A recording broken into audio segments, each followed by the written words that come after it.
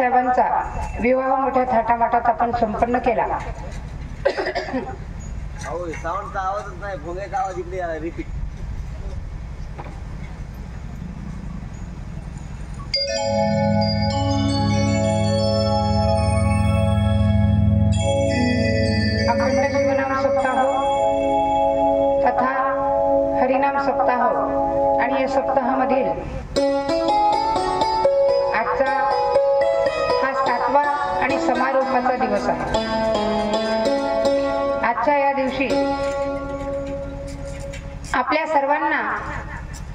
इथून समारोप म्हणजे निरोप घ्यायचा आहे. उद्या मात्र महाप्रसादाचा कार्यक्रम आहे. आणि काल्याच्या स्वरूपामध्ये याचं प्रागटीकरण आपल्याला उद्या करायचं आहे. आज गेली सहा दिवस झाले. आपण मोठ्या भक्तिभावनेने श्रद्धेने ही कथा श्रवण करत आहोत.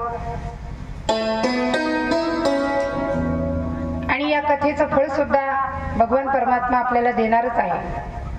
भगवान भोलानाथांचं जागृत देवस्थान या गावचं आराध्य दैवत हनुमंतराय तसेच सर्व पंचकृषीतून येणारे भाविक भक्त रसिक भक्त या कार्यक्रमासाठी सहा दिवसापासून अविरतपणे आपली सेवा इथे देत आहेत.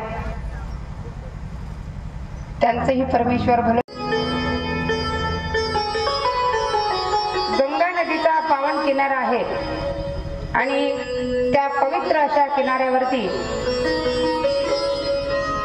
भगवान शुकाचार्य उच्च आसनावर बसून राजा परीक्षितीच्या उद्धारार्थ एक एक कथा राजा परीक्षितीला सांगत आहेत. एक एका कथेमुळे राजा परीक्षिती अत्यंत प्रसन्न आहे भगवंताच्या विवाहाची कथा प्रामुख्याने बालकथा बाललीला. ह्या श्रवण करून राजा परीक्षितीला असं त्याच क्षणी वाटलं की मला आत्ताच मोक्ष मिळाला का? आणि मग पहिल्या दिवशी सांगून गेली प्रत्येकाला सातच दिवसामध्ये जायचं आहे नाही का? सात दिवसामध्ये जायचं आहे वेळ माहीत नाही वार माहीत नाही. ठिकाण सुद्धा माहीत नाही. आणि अशा वेळेला आपल्यालाही आपला मोक्ष करून घेण्याची चिंता आपल्याला लागली पाहिजे.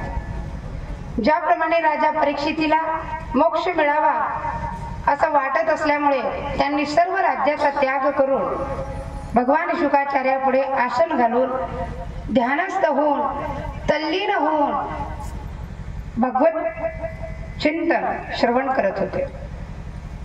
शुकाचार्य प्रसन्न अंतकरणाने एक एक कथा सांगत होते. भगवंताच्या विवाहाची कथा सांगत असताना शुकाचार्य भावविभोर होऊन गेले आणि ती कथा श्रवण करू लागली. कौंडण्यपुरातील रुक्मिणी आईसोबत द्वारकाधीश भगवान परमात्मा यांचा विवाह अशा पद्धतीने साजरा झाला. काल त्याचा अनुभव आपण जागृत अवस्थेमध्ये आपल्या मंडपात घेतलेलाच आहे. मग आता आपल्या देवापूरमध्ये जर एवढा आनंद होता विवाहामध्ये तर कल्पना करा द्वारकेमध्ये काय आनंद असेल नाही का? भगवंताचा विवाह होता तो. आणि त्या विवाहासाठी सर्व देव लोक त्या तिथे तत्पर हजर होते. सर्व ऋषी मुनी सर्वजण त्या ठिकाणी हजर होते. आणि मोठ्या थाटात भगवंताचा विवाह लावला. विवाह संपन्न झाला. सर्व पाहुणे मंडळी आपल्यासारखं नाही लग्न लागल्याबरोबरच निघून जायचं. नाही पाहुणे मंडळी भगवंताच्या घरी द्वारकेमध्ये राहिले. किती दिवस? अकरा दिवस. आपल्याकडे कसं असतं? लग्न लागलं. हातावर पाणी पडलं की वराडी इकून इकडेच निघून जातात नाही का? पण ते द्वारकाधीशांचं घर होतं. त्या ठिकाणी अकरा दिवस सर्व पाहुणे राहिले. अकरा दिवस सर्व पाहुण्यांची यथाशक्ती यथामती व्यवस्था पार पाडण्यात आलेली आहे. अकरा दिवस पूर्ण झाले आणि सर्व पाहुणे मंडळी भगवंताचं दर्शन घेऊन रुक्मिणी आईसाहेबांचं दर्शन घेऊन आपापल्या स्थानी निघून गेले. आता भगवंताचा विवाह झाला. भगवंत मनामध्ये प्रसन्न आहे. पण खऱ्या अर्थानं रुक्मिणी आईसाहेब फार प्रसन्न आहे. कारण लहान वयामध्ये रुक्मिणी आईसाहेबांनी भगवंताच्या लीलांचं गुणगान श्रवण करत होती. दुसऱ्यांच्या मुखामधून. इतरांच्या मुखामधून भगवंताचं गुणगान ऐकत होती. भगवंत असे आहेत भगवंत तसे आहेत. आणि लहानपणापासून जी इच्छा केली होती ती आता पूर्ण झाली. आता स्वर्ग सुख रुक्मिणी आईसाहेबाच्या पदरामध्ये पडलेला आहे. म्हणून मनामध्ये ईश्वराला धन्यवाद देत होत्या. ईश्वरा. जे मनापासून मागितलं ते पूर्ण मिळालं. त्याबद्दल तुझे आभारी आहे. एक वेळचा प्रसंग. भगवान परमात्माने भोजन उरकलं आणि अंग टाकलं. रुक्मिणी आईसाहेब पायाजवळ बसलेल्या होत्या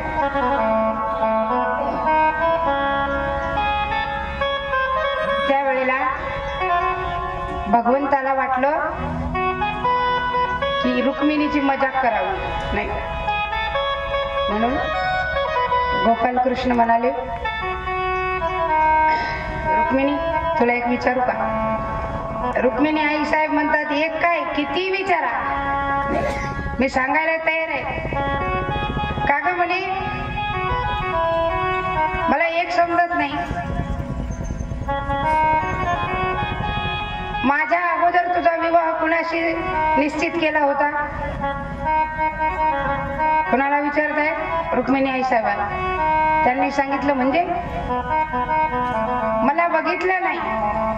त्या अगोदर तुझा विवाह कुणासोबत निश्चित केला होता? तुझ्या भावाने.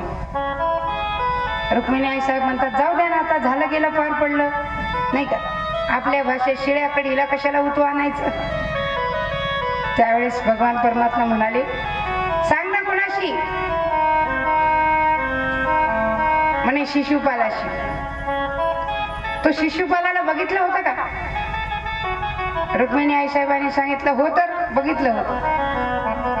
मग तो माझ्यापेक्षा दिसायला किती सुंदर होता? दिसायला सुंदर होता. श्रीमंतही तसाच होता. माझ्यापेक्षा निश्चितच चांगलं त्याचं घर सुद्धा होतं. अगं मला काय आज या भक्ताने बोलवलं तर त्या भक्ताकडे मी जातो. आज त्या भक्ताने बोलवलं तर त्या भक्ताकडे जावं लागतं. नाही का? कारण तुम्हाला सांगितलं देवाला आपलं बिल्डिंग पाहिजे नाही आपलं घर पाहिजे नाही आपली शेती पाहिजे नाही आपली दौलत पाहिजे नाही आपला द्रव्य पाहिजे नाही. देवाला फक्त आपला भाव पाहतो. नाही का? माझे भक्त गाती जेथे नारद आम्ही उभा तेथे. माझे भक्त ज्या ठिकाणी माझं नामस्मरण करतात त्या ठिकाणी मी असतो. मग आता मला तुला सोडून किती वेळ द्यावं लागणार आहे? याचा काही अंदाज आहे का? मग शिशुपालाशी माझ्यापेक्षा तू विवाह केला असता तर सुखी राहिली असती ना? रुक्मिणी आई साहेब म्हटले आता पाणी डोक्यावरून चाललंय. नाही. तुम्ही शांत बसता की नाही? ते म्हटले अगं खरं तेच विचारतो ना खरं खरं सांग बरं. मी असा काळा नाही का? एका ठिकाणी न राहणारा. आता तो विवाह तर माझ्यासोबत केला पण मी कायम तुझ्यासोबत राहतो का? आणि शिशुपाल तुझ्यासोबत राहिला असता? तू इतकी देखणी आहेस इतकी सुंदर आहेस. शिशुपालाने तुला एक सेकंद सुद्धा सोडलं नसतं. मग त्याच्याशी विवाह करायचा होता ना तू? माझ्याकडे काय कोण म्हणतो? जगाचा मालक. नाही. त्यावेळेला रुक्मिणीच्या डोळ्यातून धारा पडू लागल्या. आणि जमिनीवर कोसळली तर मूर्छितच पडून गेली. कृष्ण ही एक हिची गंमत केली होती. हिला गंमतही समजत नाही. नाही. म्हणून तोंडावर पाणी मारलं आणि रुक्मिणी आई साहेबाला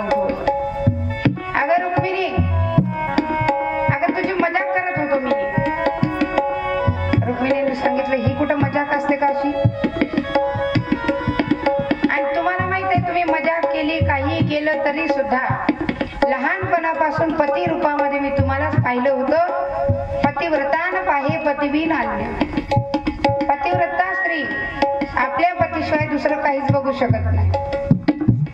म्हणून मी तुम्हालाच माझा पती मानलेलं होतं. आणि तुमचं काय जातं? ईश्वराने माझी इच्छा पूर्ण केली त्यावेळेला रुक्मिणीने सांगितलं हे बघा आता पहिला आणि शेवटचा तुमचा हाच प्रश्न आहे. याच्या नंतर मला पुन्हा कधी विचारायचं नाही. त्यावेळेला भगवान म्हणतात मी तुझी मजा केली होती. मला माहीत होतं तू कुठे जरी गेली असती तरी सुद्धा तू माझ्याशिवाय राहू शकत नाही. हे मला पहिलेच माहीत होत. असा बराच काळ हास्य विनोदामध्ये घातला. भगवान परमात्मा झोपून गेले.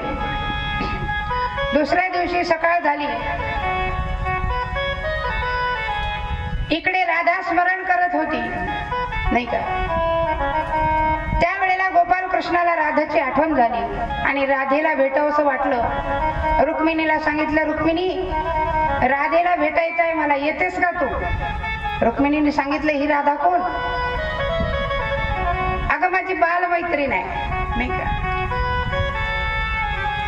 त्यावेळेला रुक्मिणीला राग आलो. आणि येणारच राग. आपला नवरा जर दुसऱ्या बाईला भेटायला जायचं म्हणतो तर बायकोला राग येणारच झाला नाही का? तिने सांगितलं का हो मी एवढे सुंदर समोर उभी असताना तुम्हाला राधेचं स्मरण का झालं? तिने सांगितलं रुक्मिणी अगं तू तर आत्ता आलीस नाही का? राधा याच्या अगोदरही होती.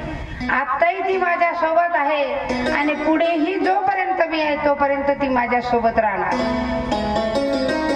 असं आहे काय तुमच्या राधेमध्ये? त्यावेळेला गोपाल कृष्ण म्हणतात माझी राधा माझा प्राण आहे. ती प्राण आहे तर मग मी कोण आहे? बायका अनेक प्रश्न विचारतात नवऱ्याला. राधा तर तुमचा प्राण आहे तर मी कोण आहे? त्यांनी सांगितलं तू फक्त या शरीराची मालकी नाहीस पण माझ्या मनाची मालकीन माझी राधा आहे. आणि राधेचं ज्या वेळेला मी स्मरण करतो ना मला समाधी लागते. रुक्मिणी आई साहेब म्हटल्या बघू तरी कशी तुमची राधा आहे तर. कृष्णाने सांगितलं खरंच? लगेच राधेजवळ गेले. रुक्मिणीनं राधेला पाहिलं. आता राधेची अवस्था कशी होती कृष्णाविना केस विस्कटलेले होते. कोणत्याही प्रकारचा शृंगार केलेला नव्हता. वस्त्र व्यवस्थित नव्हते. आणि आशा राधेकडं कृष्ण एक टक लावून बघत होते. आणि राधाही कृष्णाकडे टक लावून बघत होती. रुक्मिणी राधेकडे पाहायच्या. आणि आपल्या मालकाकडे पाहायच्या. आणि दोघांच्या डोळ्यांना अश्रुधारा लागलेल्या आहेत. राधेच्या पण आणि कृष्णाच्या पण. दोघांच्या डोळ्याला अश्रुधारा लागल्या. रुक्मिणी आईसाहेबाला वाटलं यायचं काहीतरी आहे. रुक्मिणी आईसाहेबानं भगवंताला सावध केलं. आणि सावध करून म्हणत आहेत अहो मी साक्षात लक्ष्मीचं रूप आहे. आणि तुम्ही हिच्याकडे पाहून रडत आहे. कृष्णाने सांगितलं रुक्मिणी तुला कळणार नाही नाही का? हा मनोमिलनाचा भाव आहे. त्यावेळेला सांगितलं इतकं तुमच्यावर ही जीव लावते का? इतकं हिचं तुमच्यावर प्रेम आहे म्हणे हो. नाही का? अगं राधाच नाही गोकुळातल्या गोपिका सुद्धा माझ्यावर फार प्रेम करतात. माझ्याशिवाय जेवत नाही माझ्याशिवाय पाणी पित नाही माझ्याशिवाय कुठलंही कार्य त्यांचं सिद्धीच जात नाही. माझ्याशिवाय त्यांना भूक लागत नाही तहान लागत नाही. इतकं त्यांचं माझ्यावरती प्रेम आहे. तुला बघायचं का? किती प्रेम आहे ते? रुक्मिणी आई साहेबांनी सांगितलं हो. एक वेळचा प्रसंग.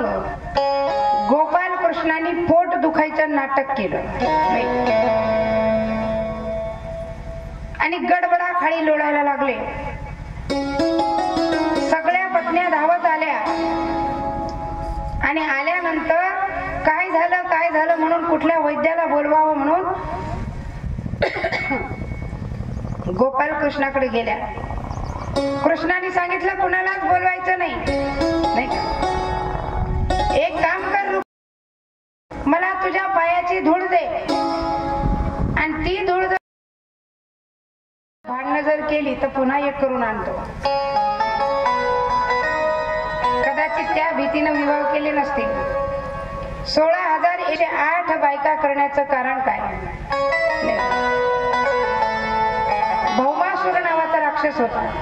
आणि त्याने सर्व या गोकुळातल्या आपल्या मुलींना सुनांना आपल्या कारागृहामध्ये कोंडून ठेवलं होतं आणि जगावरती राज्य केलं होतं. यांची सुटका करण्यासाठी भगवान परमात्मा तिथे गेले. भौमासुराशी युद्ध केलं. भौमासुराला मारून त्याचा वध केला आणि सर्व स्त्रियांना कारागृहाच्या बाहेर काढलं आणि सर्व स्त्रियांना सांगितलं जा तुम्ही आता तुमच्या घरी. आता तुम्ही मोकळ्या झाल्या. त्यावेळेला त्या स्त्रियांनी सांगितलं देवा तुका म्हणे हरी आता आमचे कोणी नाही घरी. आता घरी कोणीच नाही आमचं. आणि असेल तरी सुद्धा आम्हाला नावं ठेवतील.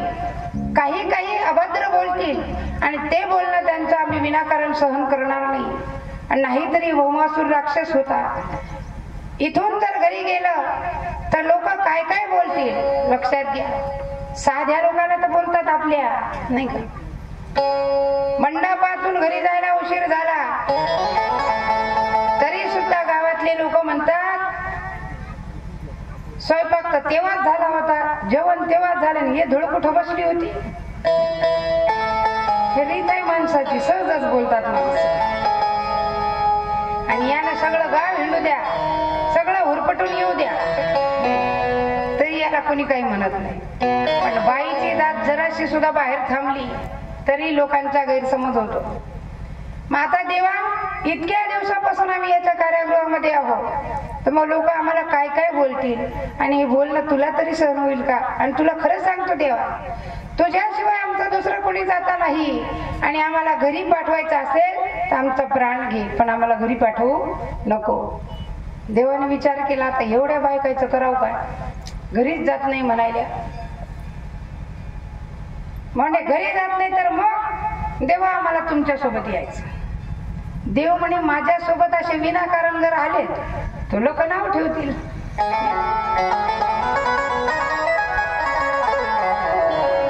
देवाच्या नादी लागल्यावर लोक नाव ठेवतात का नाही?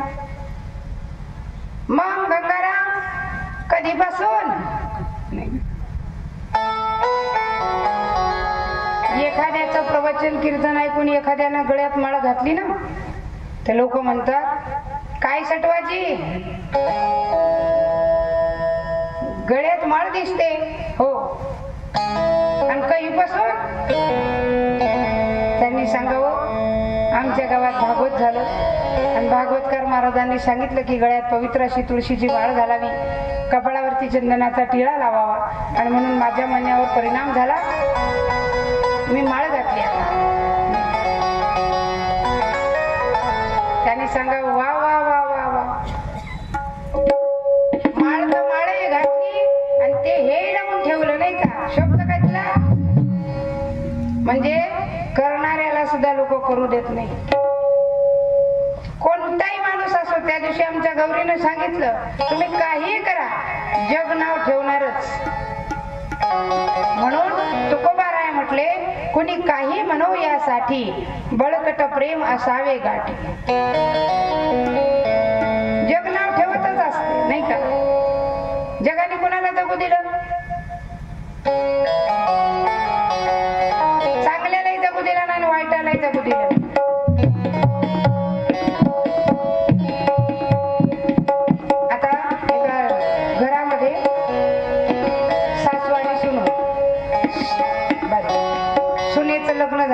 पोराचं आणि नवीन नवीन सुन होती बिचारी. आता सासू सकाळी उठली सडा वगैरे घातला रांगोळी घातली आणि पाठीमागून सुनबाई उठली. सुनबाईला सासूबाईनं सांगितलं सुनबाई आपल्याला शेताकडे जायचं लवकर लवकर आवडतं नाही का? सुनबाईने सांगितलं ठीक आहे मामी आवडते म्हणून स्वयंपाक वगैरे केला टोपल्यामध्ये भाकरी घेतली कळशी भरून घेतली खुरपायचे विळे घेतले निंदायचे टोपल्यामध्ये चुंबळ केले आणि टोपलं डोक्यावरती घेतलं. नाही का? कोण? सासून कारण सासूला वाटलं सून नवीन हिच्या कुठे डोक्यावर टोपलं द्यावं? म्हणून सासूनं टोपलं घेतलं आणि सासू सुना चालल्या होत्या. सुनानं विचार केला आपण नवीन आहोत. सासूच्या पुढे जावं तर लोक नाव ठेवतील. म्हणून सासूच्या मागून जायला लागली. शेजारच्या बायाने पाहिलं. बाई बाई बाई बाई बहिणी नवलच झालं म्हणे आपल्या गावचं तर. नाही. काय झालं? अगं एक गंगे घराच्या बाहेर ये ना. शेजारची गंगूबाई आली. काय म्हणतेस? पाय ना त्या छकुबाईची सून पायाला जस काय बेड्या बांधल्या तिच्या. नाही का? सासू पुढे चालली आणि ही मागून मागून चालली. सोनून ऐकलं. दुसऱ्या दिवशी सोनूला वाटलं आता काय करावं? आपण सासूच्या पुढे जाऊ म्हणे आज. नाही का?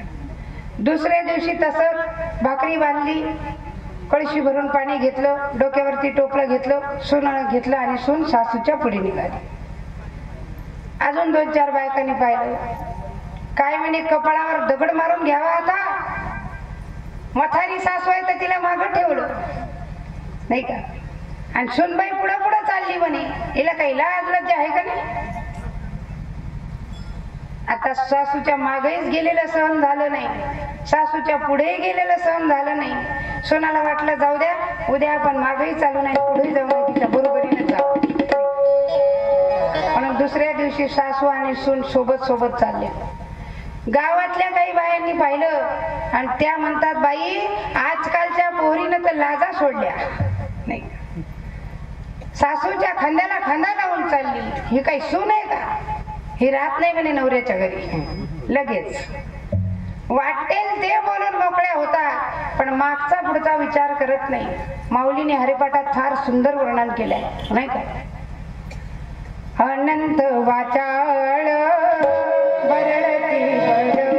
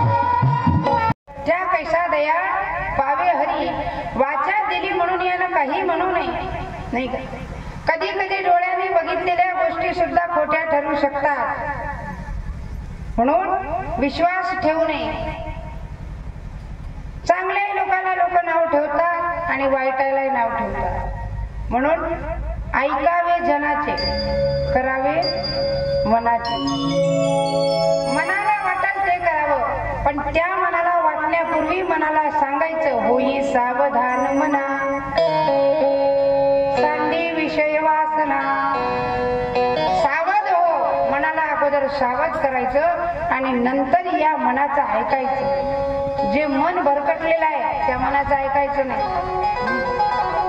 जे मन सावध आहे त्याचं ऐकायचं. आणि मनाला सावध करण्याचं ठिकाण कोणतं आहे? या ठिकाणी इथे मन सावधही होते मन स्थिरही होते आणि मन पवित्रही होते. गोपाल कृष्ण भगवान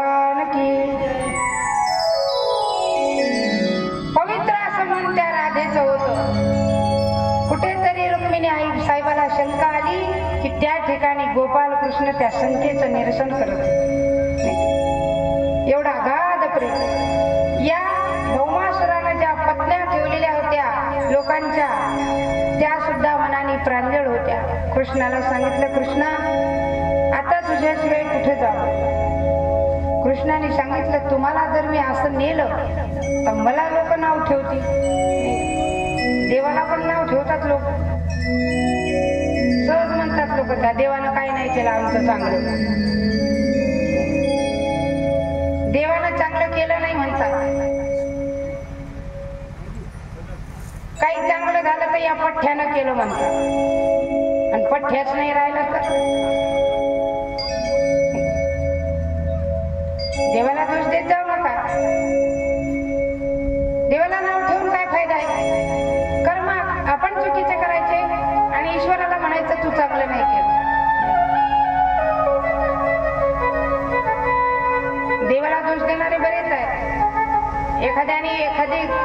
वगैरे बांधली. लोक म्हणतात आम्ही आता बऱ्याच जणांच्या घरी जातो. लोक म्हणतात ताई एवढी बिल्डिंग दिसते ना तुम्हाला? की मी बांधली मी. कोण? मी बांधली. म्हटलं तुमचे वडील? हा, त्यानं काही नाही केलं म्हणतात आमच्यासाठी.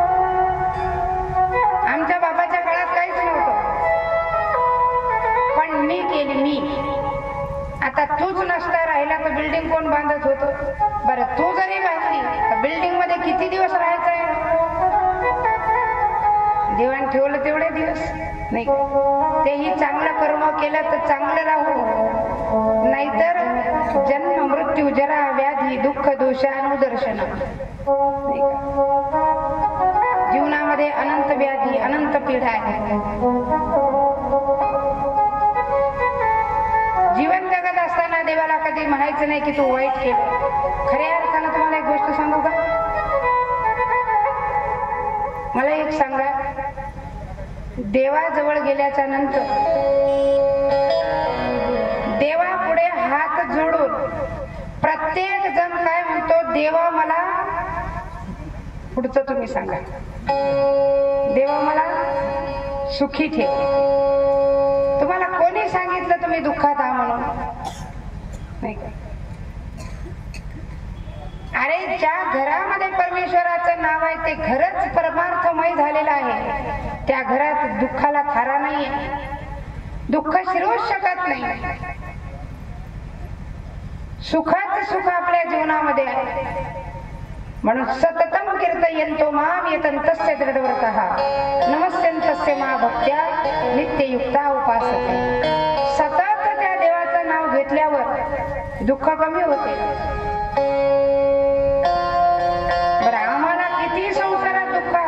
तरी गोडच वाटतो संसार नाही का? एक मोळी विक्या होता. रोज रानात जाऊन लाकडं वगैरे जमा करायचा. आणि लाकडं जमा करत करत ती लाकडं गावात आणायची. त्याची मोळी विकायची करून त्या मोळीमध्ये जो मोबदला आला त्या पैशा आदल्याने आपला उदरनिर्वाह घर चालवायचा. असं त्याचाच चालला एक दिवस मोळी आणायला गेला. आणि मोळी जमा करायला लाकडं जमा करायला संध्याकाळ झाली.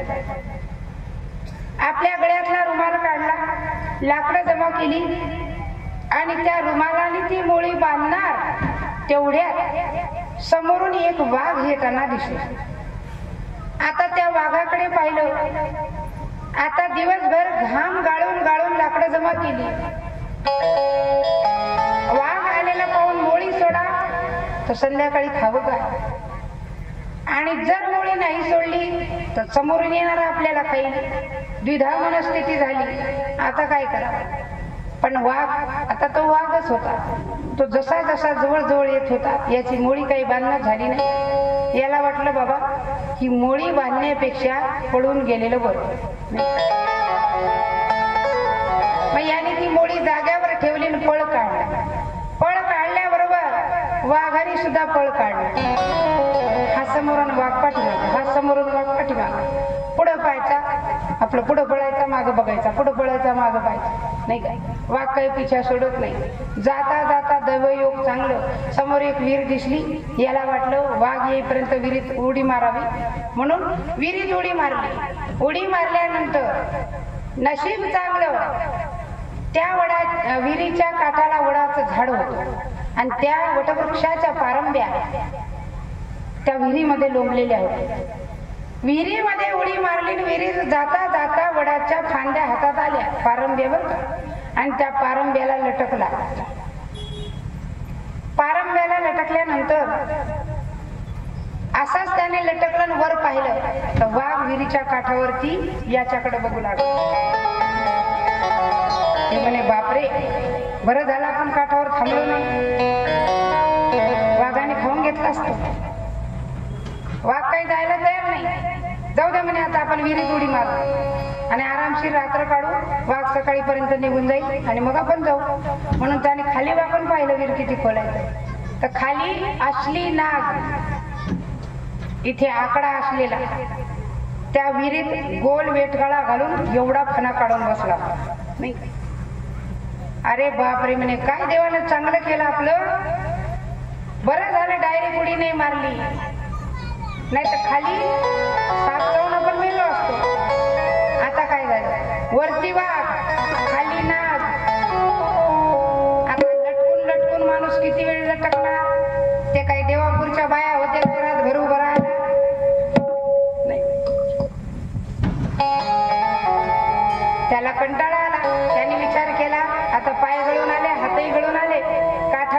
सोय नाही. मध्ये उतरायची सोय नाही. वरती जाऊन बसू म्हणे. मग झाडावरती पाहिलं आणि चढता येते का म्हणून पारंब्या बघितल्या. पण ज्या पारंबीला याने पकडलं होतं त्याच पारंबीला वरती आगे मौळ होत. नाही हा संसार सांगते तुम्हाला. नाही हे सगळं काय आहे? संसार दुःख मुळ चहूकडे इंगळ. विश्रांती नाही गोठे रात्रंदिवस तळमळ. वरती जावं तर आग्या बसलेलं आहे. आता काय करावं? वर जायची सोय नाही खाली उतरायची सोय नाही ना वरही सोय नाही. आता मात्र जीव घाबरला. आपलंही तसंच आहे. ताकद आहे तोपर्यंत कुणालाच काही समजायचं नाही. एकदा हातपाय गळाले कांद्या धरून कि मग कुठंच जाता येत नाही. आता काय करावं? म्हणून भीती वाटली आणि भीती पोटी थरथर कापायला लागला. आणि थरथर कापत असताना त्या आग्या मूळ फुटलं. आग्या मूळ तर फुटलं पण त्या ज्या माशा बसलेल्या होत्या त्या सगळ्या महुळाला सोडून या महुळाच्या स्वागताला भिडल्या जे लटकलं होतं त्याच्या. नाही त्याला चनाचन चनाचन जिकडून तिकडून माशा चावायला लागल्या. पण त्याने काय केलं? ते वरचा जे गरा फुटलेला होता ना त्याचा एक एक थेंब याच्या नाकाच्या शेंड्यावरती पडू लागला. यांनी जीभ बाहेर काढली आणि जिभेच्या शेंड्यानी नाकावरच्या शेंड्याचा मध चाटायचा. तो गरा आणि तो गोड लागायचा. त्याने सांगावं वा बाकी काही असू द्या. पण मध फारच गोड आहे. काय सांगितलं मी तुम्हाला? सांगायचं तात्पर्य संसारात किती जरी दुःख असेल तरी माणसाला गोडवा वाटतो थोडस सुख आलं म्हणजे. पण हा गोडवा किती वेळ टिकेल? संसाराचा गोडवा क्षणिक आहे नाही का? अगदी थोडा काळ आहे. म्हणून जीवनात चार गोष्टी माणसाने कराव्या. प्रथमेन विद्यार्जितम. प्रत्येक माणसाच्या जीवनात चार टप्पे आहेत. प्रथमेन विद्या अर्जितम द्वितीय धनम. तृतीयेन पुण्यम. काय सांगितले महाराजांनी? सुभाषितकार म्हणतात पहिल्या टप्प्यात माणसाने विद्या मिळवावी. आयुष्याच्या पहिल्या टप्प्यात. पहिला टप्पा किती वर्षाचा आहे? जन्मापासून तर पंचवीस वर्षापर्यंत. नाही का? नाही ह्या जीवनाच्या अवस्था माणसाने समजून घेतल्या पाहिजे. दुर्लभो मानुष देहो देहिनाम क्षण भंगुरह तत्रापि दुर्लभ मन्यो वैकुंठ प्रिय दर्शन दुर्लभ नर्दे आहे. म्हणून कोणतीही गोष्ट करत असताना ही परमेश्वराच्या स्वाधीन करा. मी केली म्हणू नका. जे काही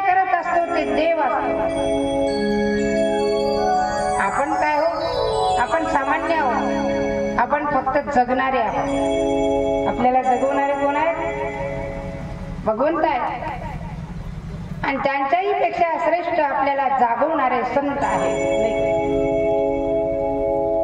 उठा जागे भारे आता. स्मरण करा पंढरीनाथा. भावे चरणी ठेवा माथा. चुकवी व्यथा जन्माच्या.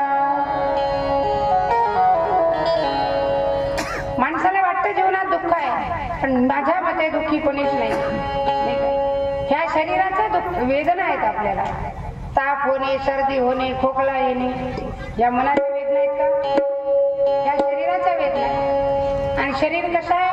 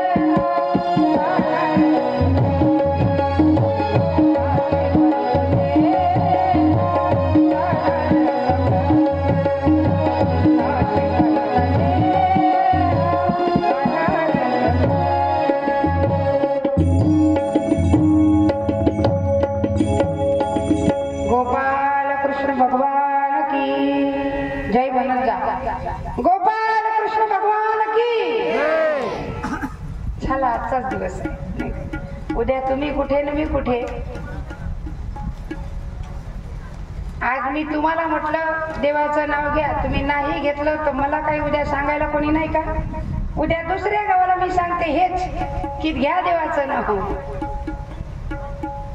ऐकलं तुमचं काम? आहे सगळ्यांनी जय म्हणायचा. देवाने देवाचा जय ज्याने केला ना त्याचा विजय अवश्य होतो. म्हणून निदान आपल्याला म्हणता येतं जय तरी म्हणत जा. गोपाल कृष्ण भगवान. वा वा. लहान लेकराचाच आवाज आला एकादशा सोडले नाहीत का?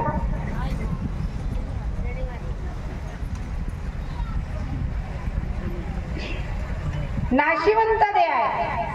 मग या नाशक्या देहाला आम्ही कुठं न्यावं? भगवंताला गोपिका सांगत होते देवाने सांगितलं काळजी करू नका. कारण जिसका कोई नाही उसका खुदा है यार. ज्याचा कोणी नाही त्याचा देव आहे नाही का? जिसका न कोई संगी सा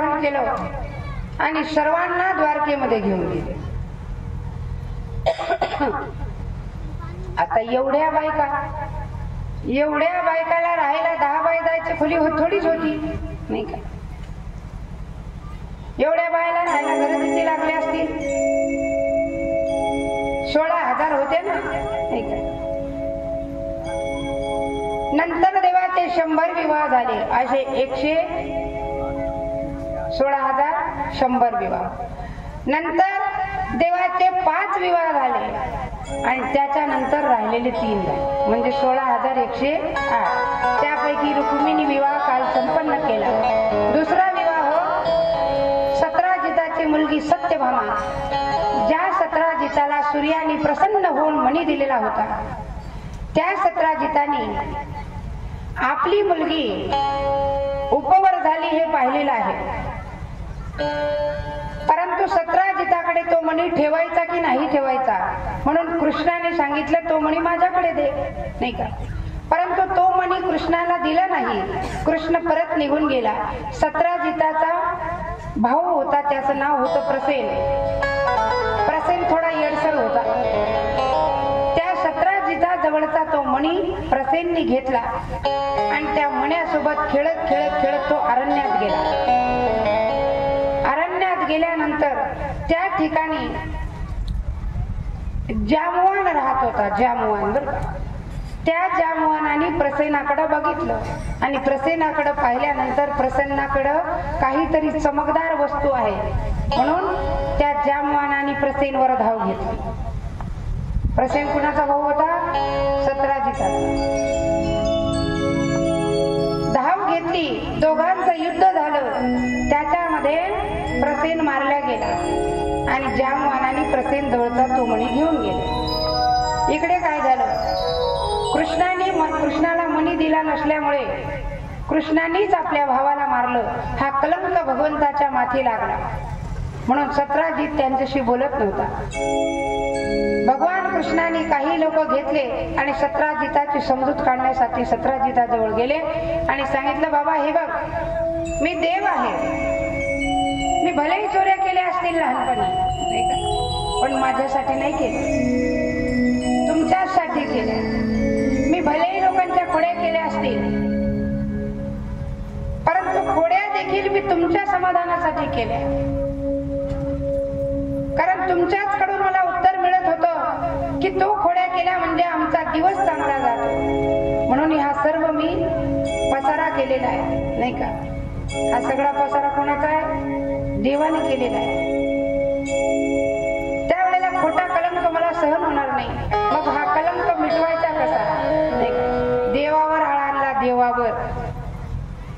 तुमचं आमचं काय खरंय? सतरा जिताना देवावर आळ आळ आणला आणि देव नाराज झाले. कृष्णाला वाटलं माझ्यावर एवढा मोठा कलंक लागला. हा कलंक कसा मिटवायचा? म्हणून गावातील काही प्रतिष्ठित लोक भगवंताने सोबत घेतले आणि प्रसेनाचा शोध घेण्यासाठी अरण्यात प्रसाद नव्हती. पण आता जो आपल्याशी युद्ध करत आहे त्याला तहानही लागत नाही. त्याला भूकही लागत नाही. त्याचा चेहराही निस्तेज होत नाही. याचा अर्थ आपल्यासोबत युद्ध करणारा आपल्यापेक्षा श्रेष्ठ आणि पराक्रमी असला पाहिजे. सतराजी थोडस आपलं क्षमा करा. ज्यामुळे युद्ध करता करता थकून जायचे आणि थकल्यानंतरमध्ये पाणी प्यायचे. मध्येच अल्पोपहार करायचे. पुन्हा युद्धाला प्रारंभ करायचे. पण भगवंत हे काहीच करत नाही. हे जामवंतांनी पाहिलं जामवानाने पाहिल्यानंतर शेवटी हात जोडल्याने विचारलं इतक्या वर्षापासून आपलं युद्ध चालू आहे. तुमचा चेहरा निस्तेज नाही. तुम्हाला तहान लागत नाही. तुम्हाला भूक लागत नाही. तुम्ही कोण आहात याची कल्पना मला द्या. त्यांनी सांगितलं बाबा जाऊ दे ना. तू आता ओळखलंस ना मला तहान लागत नाही भूक लागत नाही. नाही का? मग तू आता ओळखलं मी कोण आहे? तरी पण सांगा तुम्ही कोण आहे? अरे मी श्रीकृष्ण आहे. आता ज्या मनाला अतिशय आनंद झाला त्याचा आनंद गगनात मावेनासा झाला आणि आनंदाच्या भरात उड्या मारत होता की कृष्ण माझ्या गुहेमध्ये आले. म्हणून सर्व शस्त्रास्त्र हातातले टाकून दिले आणि साष्टांग दंडवत घातला कृष्णाचे पाय पकडले क्षमा मागितली. क्षमा करा अपराध. मला क्षमा करा. त्यावेळेला भगवंताने जामनाला क्षमा केली आणि जामनाने सांगितलं महाराज मणी सुद्धा घेऊन जा आणि मण्यासोबत माझी एक इच्छा आहे. माझी उपवर झालेली एक मुलगी आहे. तिचं नाव आहे जांबुवंती. एकुलता एक माझा लेकरू आहे. आणि माझी अशी इच्छा आहे की मी तुमच्यासोबत एवढं युद्ध केलं. एवढा तुमचा अपमान झाला आणि हा अपमान तुम्ही सर्व काही पोटामध्ये घातला म्हणून माझी जामवंती मी तुम्हाला अर्पण करू असं म्हणतो. त्यावेळेला कृष्णाने सांगितलं आता जामवन म्हणजे जातीनं अस्वल. आता कृष्ण भगवान म्हणाले की मी आईला विचारून येतो. तिथून कृष्ण भगवान आईकडे गेले देवकी मातेकडं. आणि देवकीला सांगितलं आई मला लग्न करायचं हा कृष्ण भगवंताला देवकी म्हणे अरे आता किती लग्न करणार आहे? नाही का? जे दिसलं त्याच्यासोबत लग्नच करायचं म्हणतो. ते म्हणे नाही आई करावंच लागणार. म्हणे का बरं? पोरगी दिसाय चांगली आहे? आता अस्वलाची पोरगी कशी असणार? अस्वली नसणार. हे भले एवढा लेकेस तिच्या अंगावरती. नाही. कृष्णाने सांगितलं आई मला लग्न करायचंय. आईने विचारलं पोरगी दिसायला चांगली आहे ना? माहीत नाही. हुंडा वगैरे किती मिळेल? तेही माहीत नाही. नाही का? अरे मग मुलगी तर बघून यायची. आई मला त्याच्याशी विवाह करायचा. ते दिसायला कसं आहे ते मी बघत नसतो. नाही का? ते असायला कसं आहे ते बघत असतो. वरतून कसाही असू द्या. पण आतून चांगला पाहिजे. ऊस डोंगा परी रस नव्हे डोंगा. नाही का? ऊस येडा वाकडा असतो. पण त्याचा रस मात्र गोड असतो. भगवंताने सांगितलं जे माझं होण्याची इच्छा करतात ना त्याचा मी रंग रूप बघत नसतो. नाही का? जो माझं होणार आहे त्याला मी बिना त्याचा रंग बघता बिना त्याचे गुण बघता मी त्याला माझ्यामध्ये समाविष्ट करून घेत असतो. आई जाऊ दे मला. आल्यावर बघ मुलगी कशी आहे तुझी सुन तर परमात्मा गेले वापस. आणि जामवन जामवानाला सांगितलं ठीक आहे. तुमची पोरगी करायला मी तयार आहे. जामवंतीला अतिशय आनंद झाला. जगाचा मालक आणि आस्वलिनीशी लग्न करतोय. लक्षात घ्या. आपण मुलगी बघायला गेलो. मुलीची थोडी हाईट कमी असली तरी आपल्याला चालत नाही. मुलीचं नाक थोडस नकट असलं तरी चालत नाही. मुलगी किती गुणाची आहे हे बघा. नाही का? तिचे संस्कार पहा. तिचं रूप बघू नका आणि एखादाच भाग्यवान असतो. त्याला रूपवान बी भेटते आणि गुणवान बी भेटते. पण मला असं म्हणायचं रूपापेक्षा गुणश्रेष्ठ आहेत. गोपाल कृष्ण भगवान की. नाही म्हटलं जय परत गोपाल कृष्ण भगवान की. जोरात म्हणत जा अस्वलिनीशी लग्न करून घेतलं. जामवंतीला आपल्या घरात आलं आणलं. रुक्मिणी आईशाई बघू लागल्या. आणि दुसऱ्या बाईला सांगू लागल्या काय आपला नवरा येडा आहे ग म्हणे. नाही का? याला अस्वलीन बी पुरली नाही. कृष्णाने सांगितलं अगं ती दिसायला आस्वलीन अस्वलीन असली तरी काय झालं? नाही का? पुढे संक्रांतीचा सण आला. हा आता काय करावं? आता ही पण तर विवाहितच आहे. आणि नाही नाही देवाने बायको करून आणली म्हणल्यावर हिची ओटी भरावीच लागणार आहे. रुक्मिणी आई साहेब थोडी समजदार होती. तिने काय केलं? जामवंतीची ओटी भरली. आणि जावंतीची ओटी भरल्यानंतर जामुंतीला वाटलं की आता हक्काचं घर झालं. असा जामुंतीशी विवाह झाला. इकडे तो मणी आणलेला होता जामवंता जामवनाकडून तो मणी कृष्णाजवळ होता आणि त्या मण्याची आठवण झाली स्मरण झालं. तो मणी सत्राजी त्याला परत नेऊन देण्यासाठी भगवान श्रीकृष्ण निघाले आणि सत्राजिताच्या राजवाड्यामध्ये पोहोचले. सत्राजिताने भगवंताचा राग मनामध्ये असल्यामुळे भगवंताला एकही शब्द बोलले नाही.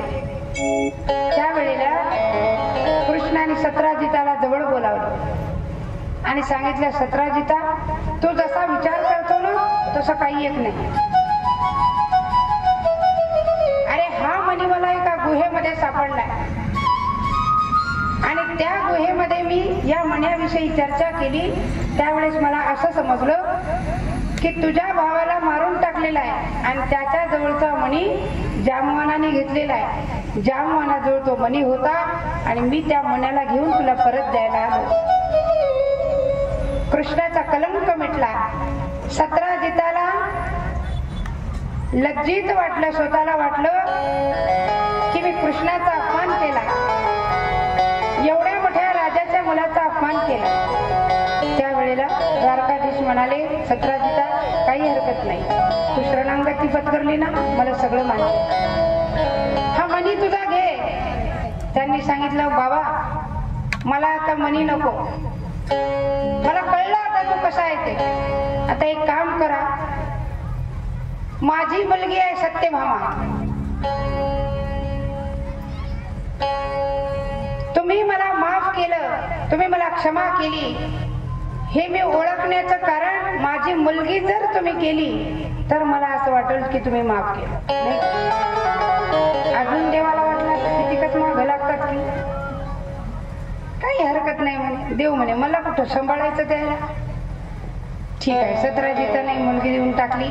असे भगवंताचे प्रिय असे आठ विवाहानंतर संपन्न झालेले आहे त्यामध्ये अतिशय प्रिय असणारी सत्यभामा जामवंती आणि रुक्मिणी आईसाहेब या तीनही राण्या एक मनाने राहू लागल्या.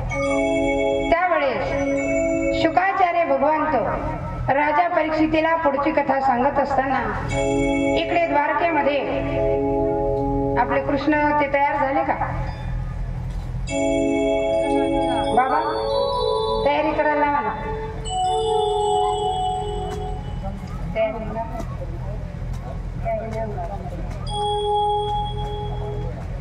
तयारी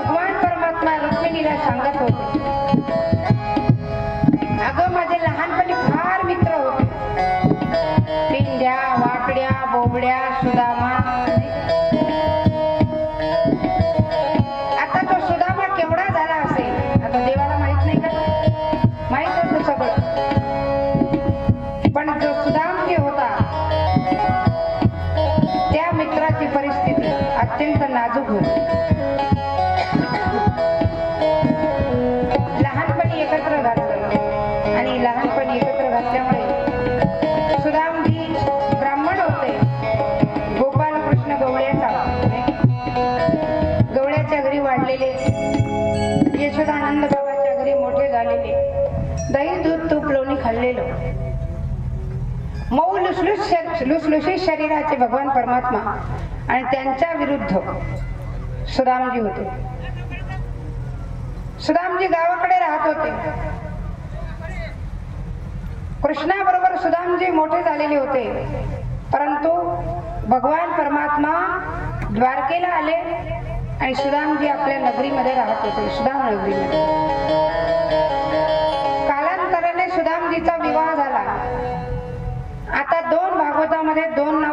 नावं सुदामजीच्या पत्नीचे नाथ भागवतामध्ये वसुंधरा नाव आहे आणि श्रीमद भागवतामध्ये सुशीला आहे बरं का? म्हणून आपला भागवत ग्रंथ चालू आहे म्हणून भागवतातलंच नाव सांगते. सुदामजीची पत्नी सुशीला आता नावही तसं आणि आचरणही तसंच. सुशीला जिचं शील चांगलं आहे तिचं नाव सुशीला. नाव अर्थपूर्ण ठेवत जा बरं का? महिला मंडळ. मुलांची नावं अर्थपूर्ण ठेवली पाहिजे. आता माझ्या आई वडिलांनी माझं नाव संगीता ठेवलं पण मला तालाचा आणि सुराचा पत्ता नाही. नाही नाव अर्थपूर्ण असावं की नाही? आपण नाव का ठेवतो? सगुणा त्याच्यात एकही गुण नाही. नाही. नाव सुलोचना आणि तिला दिवसाही दिसना. नाव गंगाबाई आणि तिच्या माठात पाण्याचा थेंब नाही. नाव काय? गंगाबाई. नाव सोनूबाई. आणि दीड ग्रामचं मंगळसूत्र सुद्धा नाही. नाव शांताबाई. आणि भांडायला दम नाही. किती नाव ठेवतो आपण शाळा? नाव काय? शांताबाई. आणि भांडायला दम नाही. लक्षात घ्या. नावातही अर्थ असला पाहिजे. अर्थानुसार नाव ठेवलं पाहिजे. वागणुकीनुसार नाव ठेवावं. परीक्षेची जन्माला आल्यानंतर नाव ठेवण्यात आलं. सगळ्यांची नाव जन्मानंतरच ठेवतात. पण ज्या वेळेला परीक्षिती रडत होते त्यावेळेला ते परीक्षण करत होते. आणि त्यांच्या अशा वागण्यावरून त्यांचं नाव परीक्षिती ठेवण्यात आलं. लक्षात आपण म्हणतो ना बाळाचे पाय पाळण्यात दिसतात. म्हणता की नाही? म्हणजे पुढे लेकरू काय करेल हे आपल्याला अगोदरच कळतं त्याच्या हालचालीवरून. नाव अर्थपूर्ण ठेवा. आताची काही नाव आहेत का हो? बंटी और बबली. पिंटी आणि पिंटी आणि घंटी. अशी नाव ठेवा का मुलाचे. नाव छान ठेवायचं. पप्प्या. नाही का? एका रेल्वे स्टेशनवर एक जोडपं रेल्वेत बसायला. आता रेल्वेमध्ये म्हणल्यावर दोन चार बॅगा दोन चार पेट्या वगैरे. पुतळ्यात काही सामान. त्यांची एक मुलगी होती ती पण होती सोबत. रेल्वेत गडबडीत पसारा घेऊन माणूस चढला. बाई मागून चढली. आणि आता त्या रेल्वेचा टीसी रेल्वे निघणार. त्या टीसीला ती बाई म्हटली थांबा माझ्या पप्पीला घ्या ना. नाही का? ती म्हणे पप्पी घ्या. अहो म्हणे माझी मुलगी खाली राहिली तिचं नाव पप्पी आहे. आता असे नाव ठेव का? काही लोक कुत्र्याच्या पोल तिलाच नाव पण पप्पी ठेवतात. नाही. नाव कशाही ठेवू नये. अर्थपूर्ण नाव ठेवावं. त्या नावामधून काही निघलं पाहिजे. नाही का? माणसंही तसेच नाव ठेवतात. दिलीप कुमार. अशोक कुमार. सुरेश कुमार. त्याला कवडीचा नाही सुमार. अशी नाव ठेवू नका नावात काहीतरी तथ्य असलं पाहिजे. नाव गंगाधर. नाव काय? गंगाधर आणि याला दांडाचं पाणी आवरत नाही. आणि नाव गंगाधर. नाही. नाव अर्थपूर्ण असावं. नाव संभाजी. जरा संभाजीच्या कारवे आठवा. धर्मवीर संभाजी. नाव संभाजी. नाही का? आणि याला रोज संध्याकाळी पाहिजे तिकडची भाजी. नाव काय? संभाजी. अर्थपूर्ण नाव ठेवा. शास्त्रामध्ये ज्या नावाने हाका मारल्या जात होत्या त्या नावाप्रमाणे आचरण सुद्धा सर्वांचं होत. सुशीला. अतिशय शिलवान अशी ती सुशीला. सत्वगुणी सात्विक गुणी. आणि सुदामजीची पत्नी आहे. परिस्थिती गरीब आहे. पातिव्रत्य कायम रोज उठल्याबरोबर सर्वप्रथम भगवंताचं दर्शन घ्यायचं आणि दुसऱ्यांदा आपल्या मालकाचं दर्शन घ्यायचं. तुम्ही किती जण रोज सकाळी नवऱ्याच्या पाया पडता? खरं खरं सांगा. रोज सकाळी. पाया पडता का पाय धरून आपटता?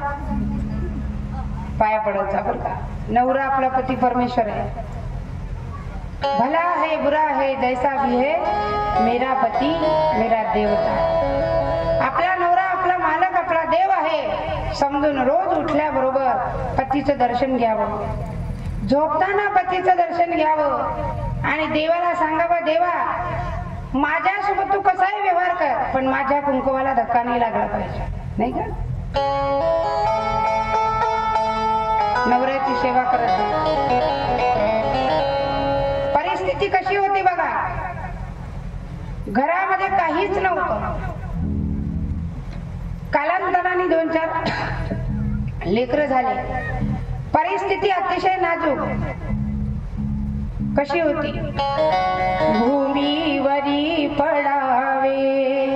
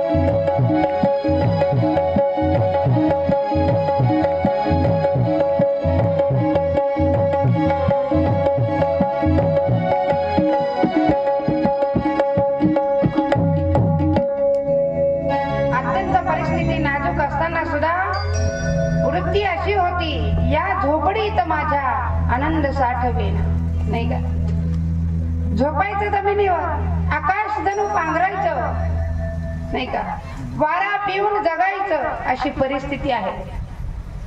आणि जातीने ब्राह्मण असल्यामुळे सुदामजीचा नियम होता. फक्त पाच घर मागायचे.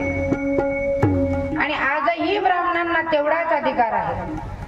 पाच घर मागायचे आणि पाच घरामधून जेवढं काही आपल्याला धन द्रव्य अन्नदान मिळत असेल त्या दानामध्ये आपला उदरनिर्वाह करायचा हा शास्त्रीय नियम आहे. सुदामजी पाच घर मागत होते. आणि मा- पाच घरांमध्ये परिस्थिती अशी होती मायबाप. कुणाचा सकाळी स्वयंपाक व्हायचा कुणाचा होत नव्हता. सुदामजी एकच आवाज द्यायची. आणि तेवढ्या आवाजात जर कुणी बाहेर नाही आलं तर सुदामजी ते दार सोडायचे आणि पुढच्या घरी जायचे. आज पाच घरं मागितले पुन्हा त्या पाच घरी जायचं नाही. नाही का? पुढच्या पाच घरी जाणार.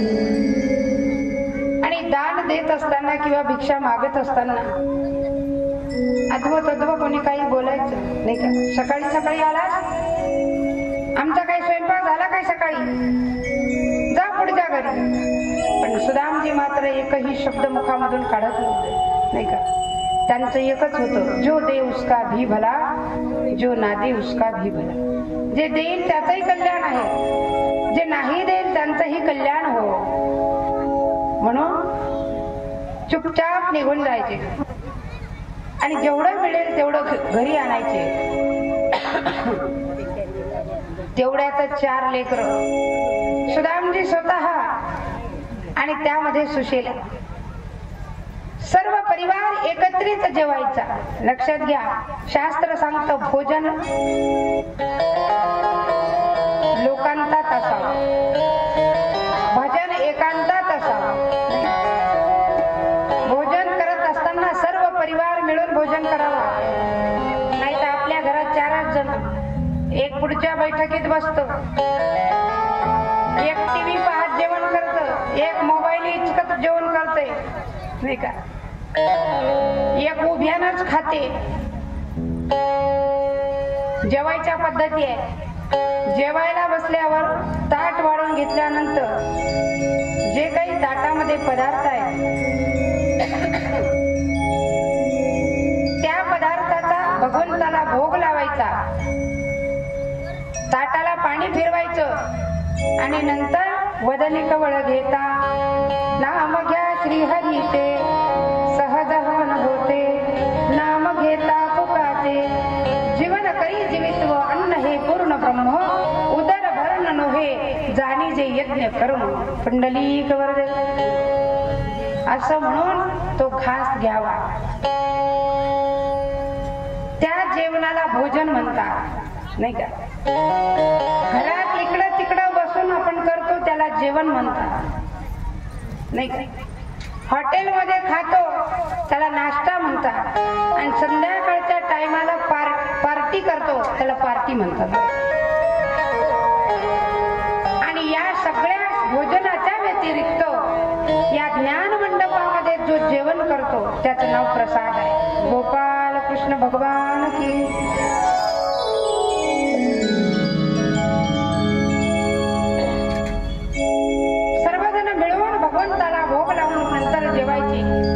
कधी पुरायचं कधी उरायचं अशी अवस्था आहे. पण तरी सुद्धा आनंदाने सुशीला ते सर्व सहन करीत होते. एक दिवसाचा प्रसंग. सुशीला आपल्या मालकाच्या पायाकडून मालकाजवळच बसली आणि सुदामजीचं भजन चालू आहे. श्रीकृष्ण गोविंद हरे मुरारी हे नाथ नारायण वासुदेव।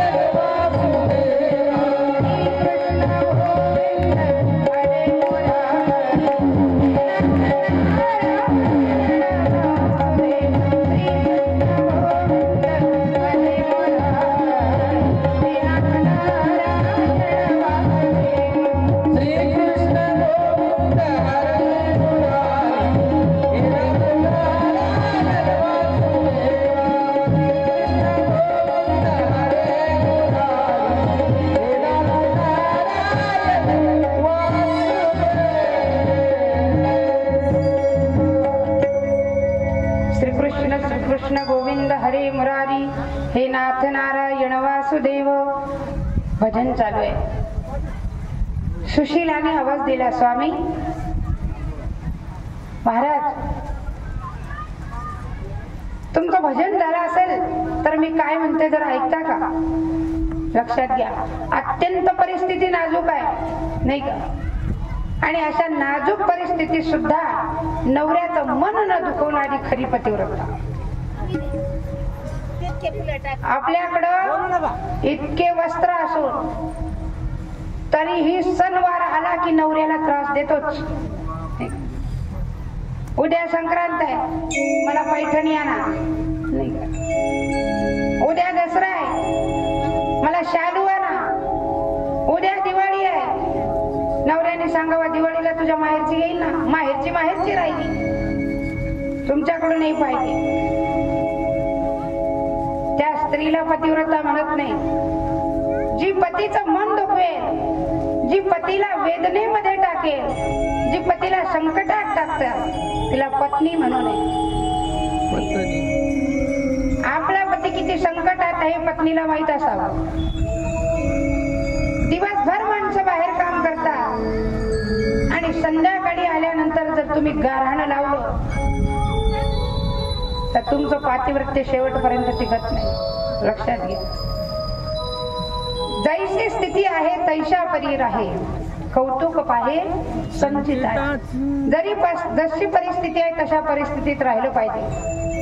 लक्षात घ्या एक परिस्थितीवरून उदाहरण सांगते तुम्हाला. एक वेळचा प्रसंग. भगवान गोपाल कृष्ण जेवण करायला बसलेले होते. आणि रुक्मिणी आईसाहेब वाढत होते. वाढता वाढता रुक्मिणी आईसाहेबांनी ताट पूर्ण केलं आणि भगवंताने घास मोडला. का कुणास ठाऊक त्या घासामध्ये जगद्गुरु तुकोबाराय दिसले. आणि डोळ्यात पाणी आलं. देवाच्या डोळ्यात पाणी आलं. रुक्मिणी आईसाहेबांनी सांगितलं जेवणात काही कमी जास्त झालं का मालक? तिखट खारट तुरट काही झालं का? सांगितलं नाही. स्वयंपाक चांगला झाला ना? अगदी चांगला. मग डोळ्यात पाणी का आलं? त्यावेळेला सांगितलं काही नाही ग. मला माझ्या तुकोबाची आठवण आली. रुक्मिणी आई साहेबांनी सांगितलं अहो कधी काळी तुम्ही तुकोबाची आठवण करता. तुम्हाला जेवायचं भान राहत नाही कोणत्या गोष्टीचं भान राहत नाही. येऊन जाऊन तुकोबा येऊन जाऊन तुकोबा करता. तुमच्या तुकोबामध्ये आहे तरी काय असं? अगं तुकोबा माझे धन्य तुकोबा समर्थ. नाही का? तुकोबाराय समर्थ आहे. शिवाय तुकाराम तुकाराम वाचे म्हणता कापे यम. एवढा अधिकार आहे तुकोबा असे आमचे तुकोबार आहे आणि त्यांची पत्नी ती तर सांगूच नको. खऱ्या अर्थाने तिच्या शिव्याच मला फार गोड लागतात. आणि बऱ्याच दिवसाच्या मी तिच्या शिव्या ऐकल्या नाही ना. म्हणून मला आठवण जाईल. त्यावेळेला गडबड करू नका. कोण ठेवा बंद करून ठेवा.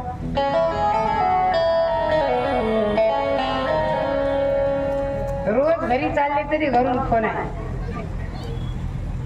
लवकर या लवकर या लवकर या.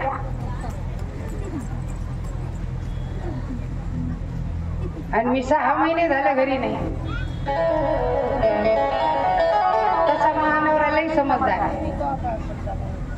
त्यांनी सांगितलं तिकडच राह. म्हणजे माझ्या डोक्याला ताणच नको. असो. आमचे कधी भांडणच होत नाही. आणि भांडण व्हायसाठी कारणच नाही ना. कारण मी घरी गेल्यावर ते घरी राहत नाही. ते घरी आला की मी घरी राहत नाही. असं होते आमच्या दोघांचं.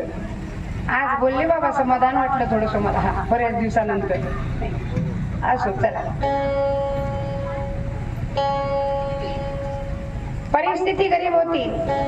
आणि जरी पण तुकोबारायांचं स्मरण भगवंत करत होते. त्यावेळेला जिजाबाईंनी विचारले आपलं रुक्मिणी आई साहेबांनी विचारलं तुमच्या तुकोबामध्ये असं काय? अगं तुकोबा तर तुकोबा आहेच. पण त्यांची पत्नी आहे ना तिचं पण मला फार स्मरण होतं. माझी जिजा फार दानी आहे. अगं नवऱ्याच्या अगोदर कधी जेवली नाही. मला कधी भोग दिल्याशिवाय खाल्ला नाही. माझा तुका भंडारा डोंगरावरती रोज भजन म्हणायला येतो. तेव्हा आपल्या पतीची भाकर घेऊन होते काय पती? आणि तिच्या शिव्या सुद्धा मला पुष्प अर्पण केल्यागत भास होतो. रुक्मिणी आईसाहेब म्हटली एवढी जिजा धन्य आहे का? पण हो.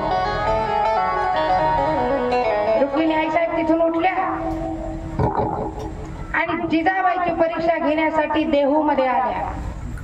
गावात आल्यानंतर स्वतःच ते लावण्य रूप टाकून दिलं फाटलेलं वस्त्र घातलं. हातामध्ये एक गाठोड आहे. गाठोड घेऊन देहू मध्ये आली. देहूत आल्यानंतर बाहेर काही लोक होते. त्यांना विचारलं तुकोबाचा घर कुठं तुकोबाच्या घराचा पत्ता काही लोकांनी सांगितला. तुकोबाचं घर कसं आहे माहितीये? सूर्य उगवला की मावळला हे सगळं त्यांच्याच घरातून दिसतं. बाहेर यायचं काम नाही. पाऊस पडला तर सडा टाकायचं काम नाही. कारण का? सगळं घर गळप होत. असं तुकोबाचं घर. पण भक्तीला पारावार नाही. ज्या वेळेस रुक्मिणी आई साहेब आल्या त्या वेळेला तुकोबाराय पारायण करीत बसलेले. ओम नमोजी अध्याय वेद प्रतिपाध्याय. पारायण करत बसलेले होते. तेवढ्या रुक्मिणी आई साहेब दारात आल्या आणि आवाज दिला आहे का कोणी घरामध्ये? तुकोबारायाने काय केलं? चरण बघितले. आणि चरणाकडे पाहिल्यानंतर पायामधल्या जोडव्यावरून ओळखलं कोणीतरी स्त्री आहे. नाही. आणि म्हणून वरवर बघत गेले. तर तेजस्वी कोणीतरी माता दिसते. ग्रंथ बाजूला ठेवला आणि आई साहेबांना हात जोडला आणि सांगितलं आई कुठून आला? तिने सांगितलं बाबा मी फार लांबून आले. काय पाहिजे? रुक्मिणी आई साहेब म्हणता काही नाही. माझ्या अंगावरती फाटलेलं वस्त्र आहे. आणि मला तुझ्या पत्नीकडून पातळ पाहिजे. आता परिस्थिती तुकोबारांची कशी होती? जिजाबाईला एकच पातळ होत. आणि ते पातळ रोज संध्याकाळी धुवायचं तेच घालायचं तेच सकाळी धुवायचं. त्रिकाल संध्या जिजाबाईंची सुद्धा होती. तेच पातळ धुवायचं तेच परत घालायचं तेच गाठी मारू मारू घालायचं. तुकोबाराय म्हटले तुम्हाला पातळ पाहिजे का? बसा देतो. आणि इकडे देतो म्हटल्यानंतर तुकोबारायची पत्नी स्नानाला गेली. आपलं पातळ काढून नाहनीच्या पाठीवरती टाकलेलं आहे. स्नान संपन्न झालं. आणि तुकोबाराय इकडून पातळ आणायला गेले. तुकोबारायने इकडून पातळाला हात लावून ओढला तेवढ्यात जिजाबाईने तिकडून ओढून घेतलं. नाही का? तुकोबारायला वाईट वाटलं. तुकोबाराय बाहेर आले आणि सांगितलं आई साहेब आज मला क्षमा करा. उद्या तुम्ही पाच मिनिटं अगोदर या. कारण माझी जी पत्नी आहे ती स्नानाची वेळ तिची चुकत नाही. तुम्ही पाच मिनिटं अगोदर या म्हणजे तुम्हाला पातळ मिळेल. रुक्मिणी आईसाहेब म्हटल्या ठीक आहे. दुसऱ्या दिवशी पाच मिनिटं अगोदर आल्या. रुक्मिणी आईसाहेब बाहेर उभे राहिल्या. जिजाबाई स्नानाला गेल्या. पातळ पुन्हा नहानीच्या पाठीवरती टाकलेलं आहे. दबक्या पावलांनी तुकोबाराय गेले. नहानीवरचं पातळ हळूहळू ओढलं. त्याची पटकन घडी केली.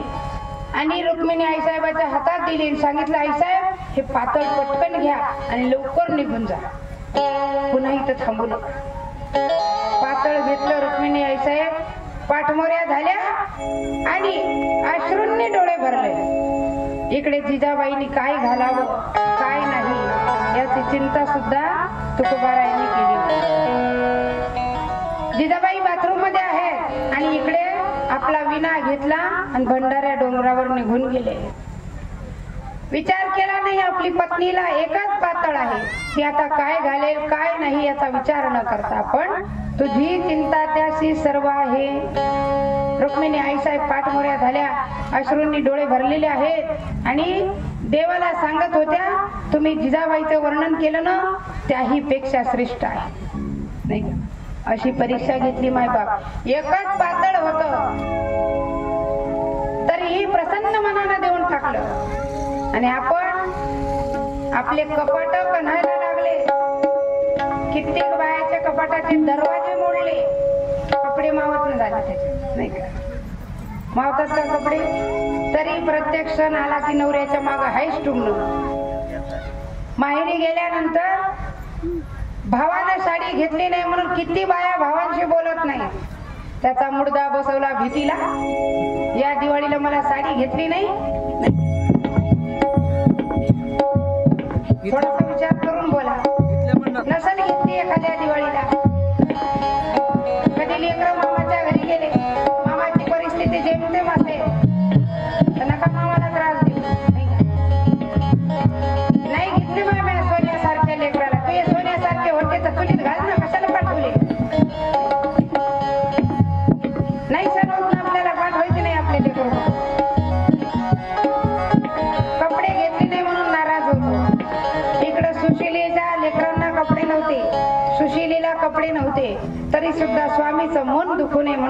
सुशीला काहीही सांगत नव्हतं.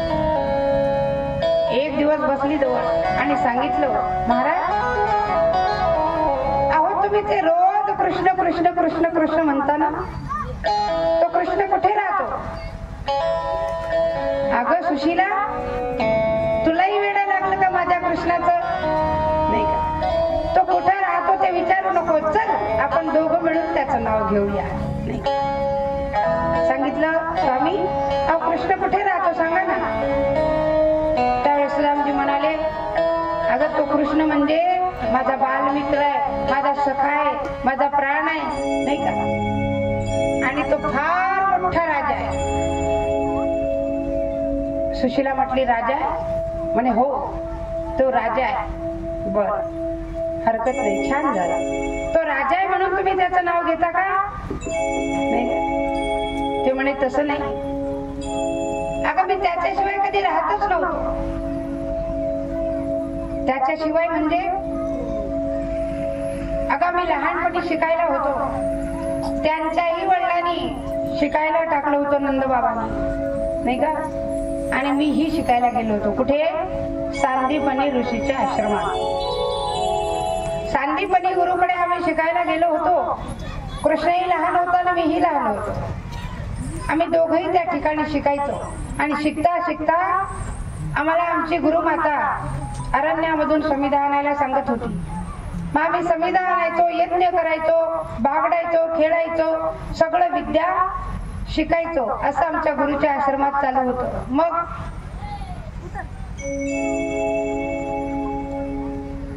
मग काय? मग तो राजा झाला. आणि मी त्याच्याही पेक्षा मोठा राजा आहे. सुशिलीला काही समजे ना तुम्ही त्यांच्यापेक्षा मोठे कसे? मालक मला क्षमा करा. आपल्या घरात काही नाही. आपल्याला खायला अन्न अन्न करावं लागतं कधी कधी तुम्ही पाच घर मागून आणता. ते कधी पुरत कधी उरत. नाही का? त्याच्यातून आपला उदरनिर्वाह नीट होत नाही. आणि तुम्ही काय म्हणता? की मी त्याच्यापेक्षा मोठा राजा हो सुशीला? तुला समजणार नाही. मी राजा कसा आहे ते सांगतो. अगं तो तर परिस्थितीने राजा आहे पण मी मनाने राजा आहे. कसं काय? ज्या मुखात भगवंताचं नाव आहे त्याचं नाव माझ्या मुखात अहर्निशी असल्यामुळे मी त्याच्यापेक्षा मोठा राजा आहे. नाही म्हणून लक्षात घ्या. राजाला राजाच म्हणतात पण देवाचं नाव घेणाऱ्याला काय म्हणतात? महाराजा. काय म्हणतात? महा महाराज. नाही कशामुळे म्हणतात? देवाचं नाव घेणाऱ्याला महाराज म्हणतात लोक. म्हणजे देवापेक्षाही मोठा राजा लक्षात घ्या. ही महाराज पदवी साधी आहे का? आणि लोक म्हणतात महाराज आला का रे? महाराज गेला का रे? आज कोण या महाराजाचं कीर्तन आहे रे? महाराजाला कमी समजू नका. हे सुदामजीने सांगितलं तो राजा आहे पण मी महाराज आहे. कारण त्याचं नाव माझ्या मुखात सुशीला म्हटली का हो? एवढा नुसतंच त्याचं वर्णन करता. तुम्हाला असं कधी वाटत नाही का? तुमच्या राजाला तुमच्या मित्राला भेटावं? झालं सुदामजीने सांगितलं हो. वाटतं ना? मला वाटतं त्याला रोज भेटायला जावं. त्याला भेटावं त्याच्याशी तासन तास गप्पा माराव्या. नाही का? त्याला आपल्या हृदयात साठवावं सगळं वाटतं. मग सुशीला म्हटली तुम्ही का जात नाही त्याच्याकडं? त्यावेळेस सुदामजी शास्त्र सांगत होते सुशीलेला ऐका सुशीला तुला आपली परिस्थिती माहिती आहे. आणि तीन लोकांकडे रिकाम्या हाताने जायचं नाही हे शास्त्र सांगतो. तीन लोक कोणते? पहिला देव देवाकडे येत असताना किंवा जात असताना फुल नाही फुलाची पाकळी घेऊन जावी. रिकाम्या हाताने जाऊ नये.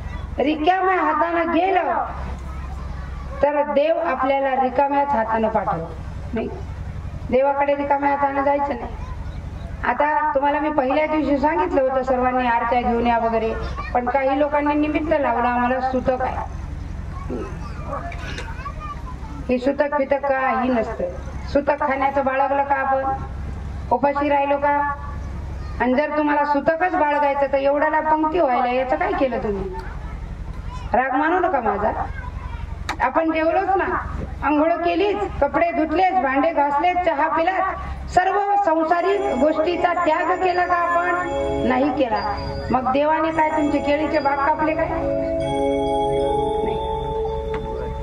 काही नाही. काही लोक म्हणतात आमचं घर लांब आहे. शेतात टोपलं घेऊन जायला नाही जड होत. आणि पूजेचं ताट हातावर आणायला जड झालं का? आणायचंच काय त्याच्यात? हळदी कुंकू अक्षदा बेल फूल दुख तुपाचा दिवा साखर प्रसाद वगैरे. रिकाम्या हाताने जायचं नाही. पहिली गोष्ट देवाकडे. नंतर साधू संतांकडे रिकामा जायचं नाही. आता इथं रोज आपण आरती घेतो. आरतीमध्ये यथाशक्ती आपल्याला एक रुपये जरी टाकला कारण आरती देवाची आहे. आणि देवाची आरती घेत असताना ती फुकट घ्यायची नाही. नाही. साधू संताकडे रिकामा जायचं नाही. आणि तिसरी गोष्ट माहेरी जात असताना रिकाम्या हाताने जायचं नाही. काहीतरी न्यावंच माहेरी जाताना. नाही का? आता तुम्ही माहेरी जाताना काही काही लोक बिस्किटचाच पुडा घेऊन जातात. नाही का? न्या काही हरकत नाही. तुम्हाला बिस्किटचा पुडा न्यायचा बिस्किटचा पुडा न्या पण रिकाम्या हाताने तीन लोकांकडे जाऊ नये हे सुदामजी सांगत होते सुशीलेला. सुशीला म्हणाली ठीक आहे. मग एक काम करा ना. आपल्या घरात कुठंतरी काही शोधते मी आणि तुम्ही नंतर घेऊन जा. आणि तुम्ही कशाला काळजी करता? मी नेण्याची व्यवस्था करते. घरात काही नसताना सुशिलेने सांगितलं की तुम्हाला देवाकडे जायचं ना मग जाण्याची व्यवस्था मी करते. तेवढ्यावर थांबलं पुढे पंधरा दिवस गेले. त्यावेळेला सुदामजीला पुन्हा भजन तर होतच चालू आहे. पण सुशीला म्हणते स्वामी आता अनावर परिस्थिती झाली आता काहीच नाही. त्या दिवशी तिला आठवण झाली की आपल्या मालकाचा मित्र राजा आहे असं आपल्याला पंधरा दिवसापूर्वी त्यांनी सांगितलं.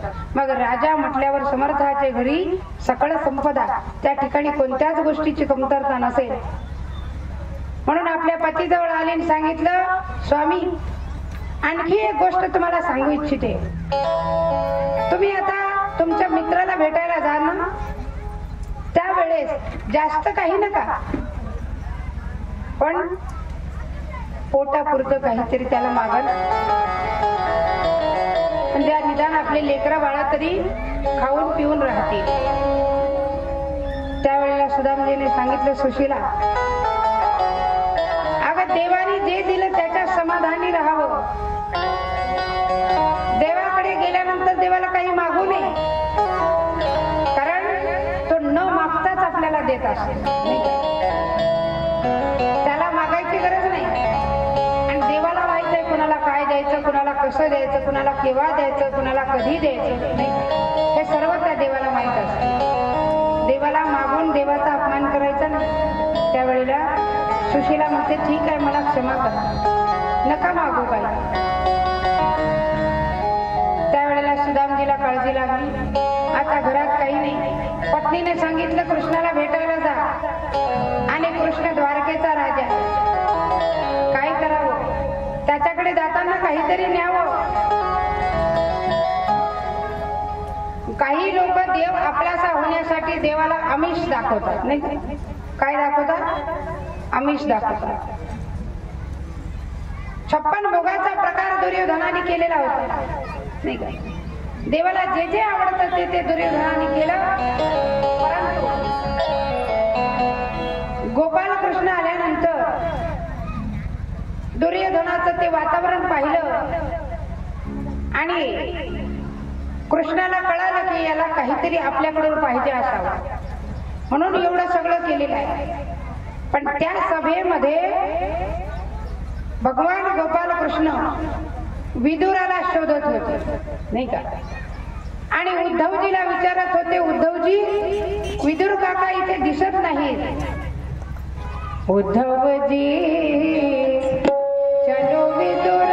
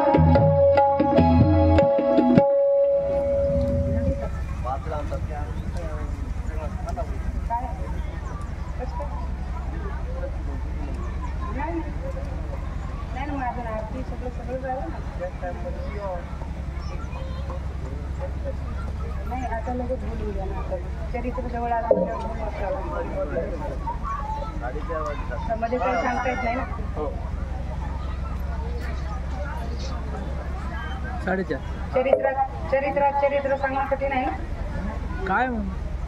थांबा म्हणतात थोडंसं. अजून काय काय मध्ये मध्ये सांगावं किती वेळ थांबायचे? ते सुद्धा तीन प्रश्न येऊन राहिले ना.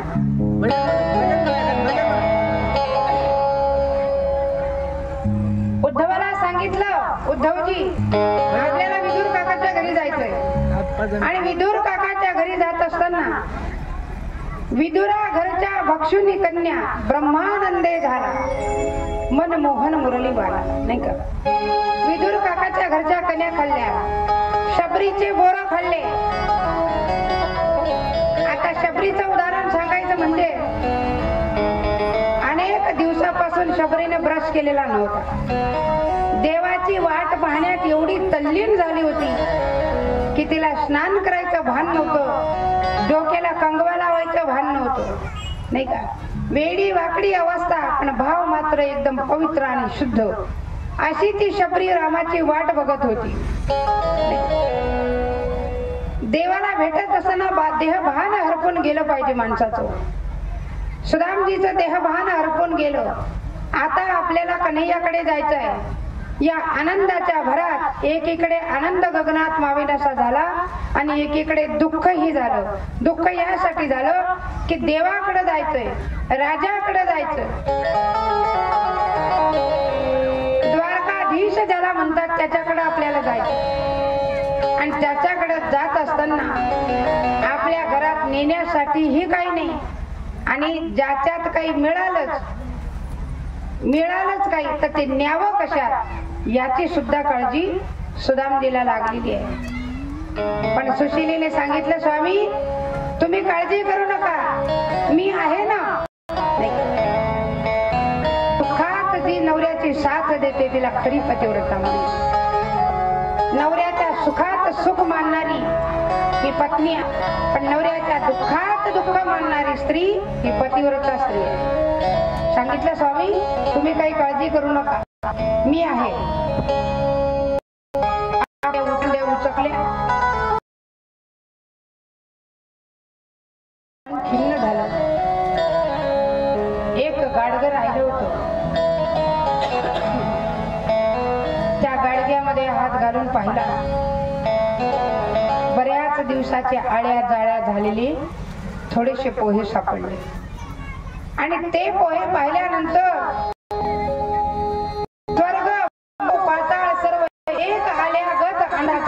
सुशिलेला झाला.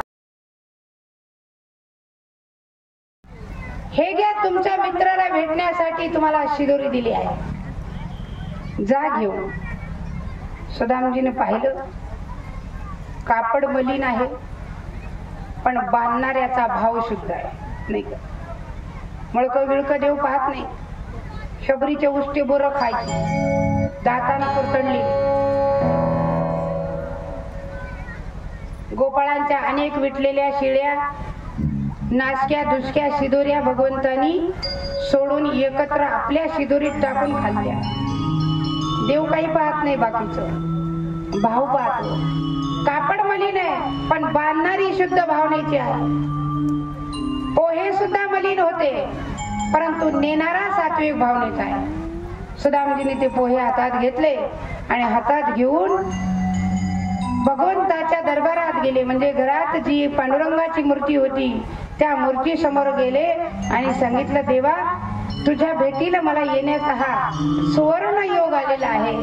आणि हा योग जन्मोजन्मी यावा. आता मी तुझ्या भेटीला निघत आहे. म्हणून घराच्या बाहेर पाऊल टाकणार तेवढ्या सुशीला म्हणते थांबा स्वामी. नमस्कार करू द्या. आणि पाया पडल्या नवऱ्याच्या आणि सांगितलं स्वामी जाता जाता सांगितलं होतं ना की तुमच्या मित्राला काहीतरी मागा पण काहीच मागू नका बघ घरचं काही सांगू नका. जा आणि मित्राला भेटा आणि वापस या. कारण ज्या वेळेला तुम्ही घरची परिस्थिती सांगाल त्या वेळेला तुमच्या मित्राच्या डोळ्यात पाणी येईल. आणि तुमच्या मित्राच्या डोळ्यात पाणी आल्यानंतर तुम्ही सुद्धा रडायला लागता आणि तुम्ही रडलेलं मला सहन तुमच्या डोळ्यात पाणी येऊ नये म्हणून तुमच्या मित्राला काही सांगू नका.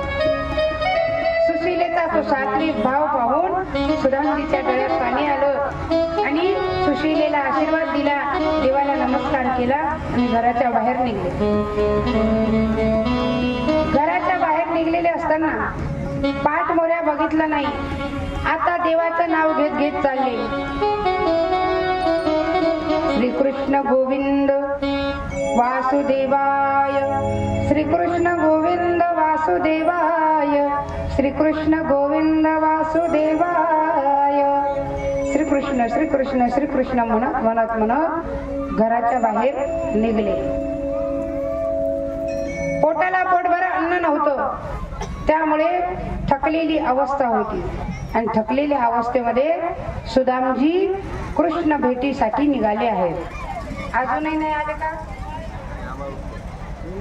आता आभाळ आलं आणि आता पाणी जर आलं तर मी एकालाही घरी जाऊ देत नाही. कोणालाच नाही.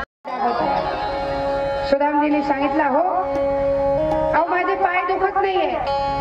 जे पाय देवाकडे जातात ना त्यांना कधी इजा होत नाही ते दुखत नसतात. जे पाय देवाकडे येत नाही त्या पायाला त्रास आहे. माझे पाय दुखत नाही दाबू नका. चला. कृष्णाला तेवढंच वाटलं सुदामजीच्या पवित्र पायाला माझा हात तरी लागला. आणि म्हणून त्या ठिकाणाहून सुदामजी उठले. कृष्णाला सांगितलं बाबा तू गुराखी आहेस. तू जेव घातलंस. देव तुझं कल्याण करो. कोणाला सांगत आहे? देवाला. देवाने सांगितलं का हो तुम्ही ज्यांच्याकडे जाता त्याचं नाव कृष्ण आहे ना? म्हणे हो. हा मी कृष्णाच्या बद्दल ऐकलं होतं. तो द्वारकेचा राजा आहे म्हणे. आणि त्या राजाशी बरं तुमचं काय काम आहे? नाही का? सांगितलं माझा मित्र आहे म्हणून मला भेटायला जायचं. अहो म्हणे तो राजा फार खराब आहे. कोण म्हणतो? कृष्ण सांग. तो काही सामान्य लोकांना बोलत नाही. ज्याच्याकडे भरपूर पैसा आहे ज्याच्याकडे धन आहे ज्याच्याकडे दौलत आहे त्याचा तो सोबती आहे. नाही का?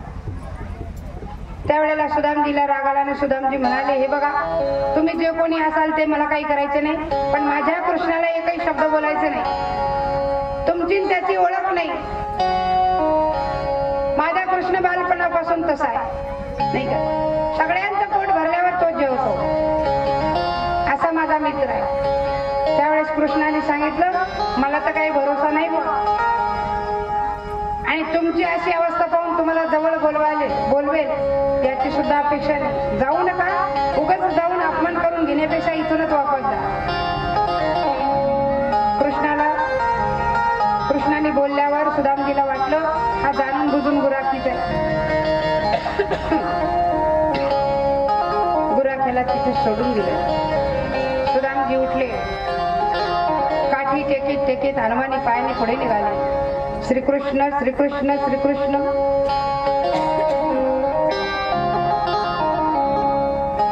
सुदामजी निघाले.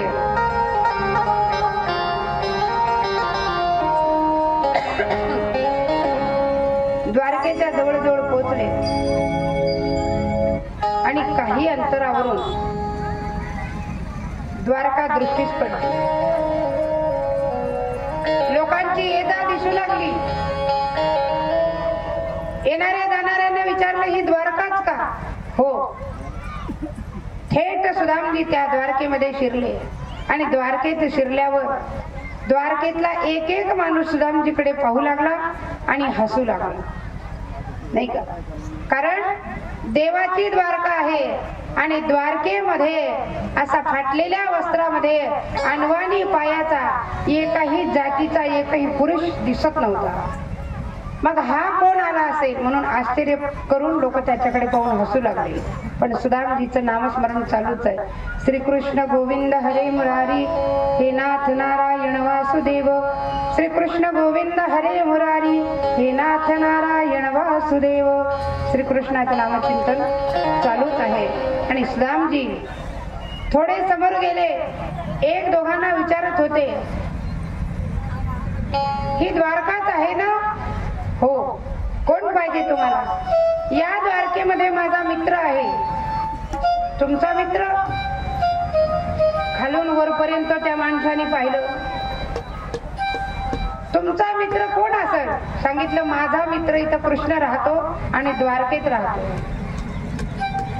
त्या माणसाने सांगितलं आम्हाला काही माहिती नाही. नाही कारण याचा पत्ता द्यावं तर कृष्ण आपल्याला द्वारकेमधूनच काढून टाकेल. असा गैरसमजून त्यांनी सांगितलं नाही. पण दुसरा एक माणूस म्हणजे जायचंय ना तुम्हाला त्या कोपऱ्यामध्ये दिसतंय राजवाडा. ते कृष्णाचं घर आहे. ती द्वारका आहे. आणि म्हणून सगळे जण बाजूला झाले सुदामजी चालत आहे. चालता चालता परत श्रीमुखामधून भगवंताचं नामस्मरण चालू आहे. आणि द्वारकेमध्ये गेल्याच्यानंतर त्या घराजवळ पोहोचल्यावर भगवंताच्या दारामध्ये ते द्वारपाल दोन होते नाही का? ते द्वारपाल दरवाजात पाहिले आणि सुदामजी त्या द्वारपाला जवळ गेले आणि द्वारपाल जवळ गेल्याच्यानंतर त्यांना सांगितलं नमस्कार करतो. कोण रे तू? ज्या द्वारकेचा तुमचा मालक आहे द्वारकाधीश त्याचा मी मित्र आहे. द्वारपाल हसू लागले. द्वारपालाने सांगितलं ए बाबा असं काही बोलू नको तू. नाही का? मित्र गित्र काही म्हणू नको. तुला काय पाहिजे ते सांग. आम्हीच देतो. आमच्या राजाकडे जायची गरज नाही. पण तू काही आमच्या राजाला तुझा मित्र म्हणू नको.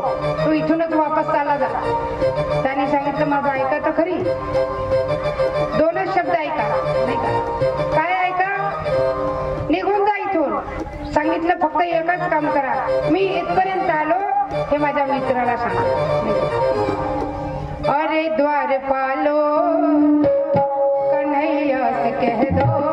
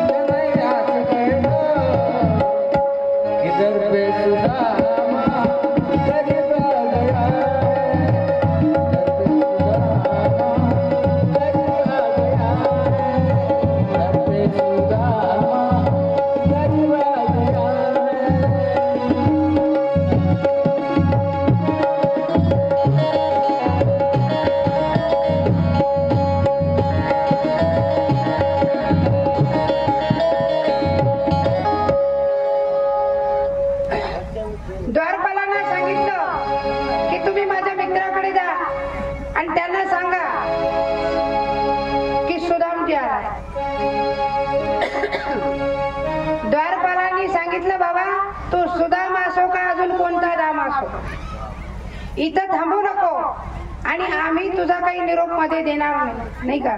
तुझी अवस्था कशी आहे? नसर सर पे है पगडी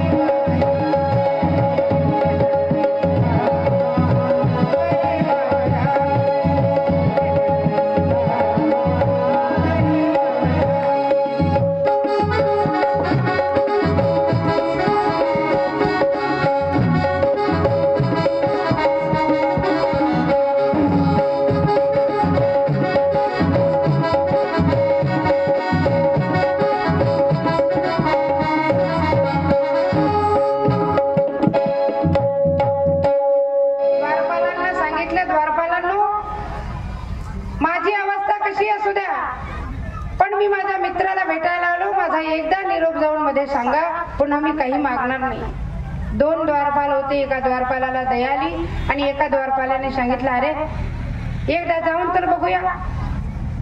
हा म्हणतोय म्हणून नाही का?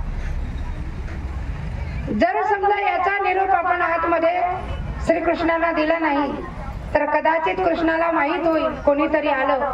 आणि जर आपण निरोप न दिल्यामुळे कृष्णाला माहीत झाल्यानंतर न भेट घेताच याला आपण जाऊ दिलं तर कृष्ण पुन्हा आपल्याला म्हणतील की मला सांगायला का नाही आले? म्हणून तू काय कर थांब इथं. त्या सुदामजीला सांगितलं तू इथं थांब. मी आतमध्ये जाऊन सांगून येतो. त्यांनी जर बोलावलं तर मग मध्ये ये. नाही. त्यावेळेला द्वारपाल आतमध्ये गेला. ज्या म्हणती सत्यभामा रुक्मिणी आईसाहेब आणि कृष्ण भगवान परमात्मा चर्चेमध्ये रंगलेले होते. द्वारपाल गेला. आणि द्वारपाराने नमस्कार केला. कृष्णाने येण्याचं कारण विचारलं. महाराज तुम्हाला कोणीतरी बाहेर भेटायला आलं. कोणीतरी? कसा आहे तो? आता कृष्णाला सर्व माहीत होतं पण ही देवाची लीला आहे. सांगितलं महाराज त्यांच्या रूपाचं वर्णन मी करूच शकत नाही. कारण वर्णन करण्यासारखं काही नाहीच आहे. पाया चप्पल नाही. अंगावरती फाटलेलं वस्त्र आहे. हातामध्ये काहीतरी झोळी सारखं आहे आणि एक वाकडी तिकडी काठी आहे. गळ्यात जाणव आहे. आणि ते सांगतात की तुमचा मित्र आहे. माझा मित्र? नाव काय सांगितलं? नाही का? त्यांचं नाव सुदामजी आहे. सुदाम म्हटल्याबरोबर आसन सोडलं. सुनते ही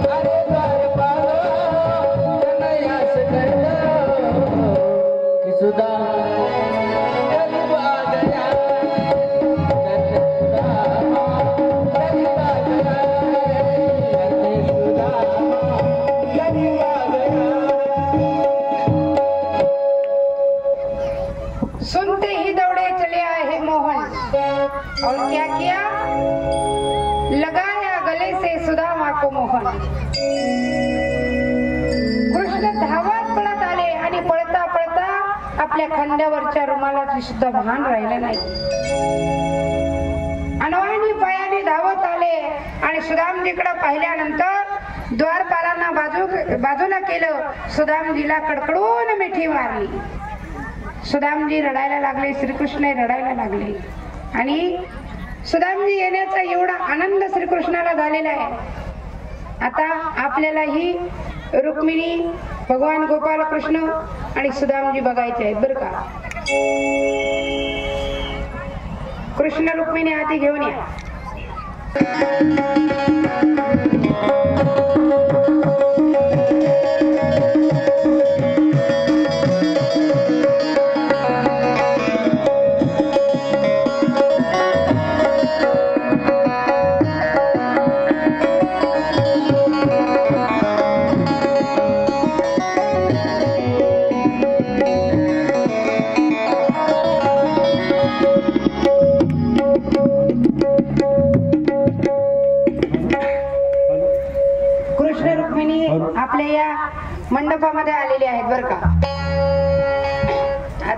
सुदामजी पण येतीलच थोड्या वेळात. सुदामजीची तयारी राहील. सुदामजी पण येतीलच. चला. श्रीकृष्णाने सुदामजीची भेट घेतली. आणि खळखळा डोळ्यांना अश्रुधारा सुरू झाल्या. त्याच वेळेला सुदामजीने सांगितलं कृष्णा आणि रडू नकोस. मी आलो ना आता तुला भेटायला. असं म्हणता म्हणता सुदामजी सुद्धा रडायला लागली. दोघही रडायला लागले. आणि श्रीकृष्णाने आनंदाच्या भरात सर्वांना सांगितलं तिन्ही राण्यांना सांगितलं सत्यभामा जांबवंती रुक्मिणी जा. माझा मित्र आलाय माझा सखा आलाय.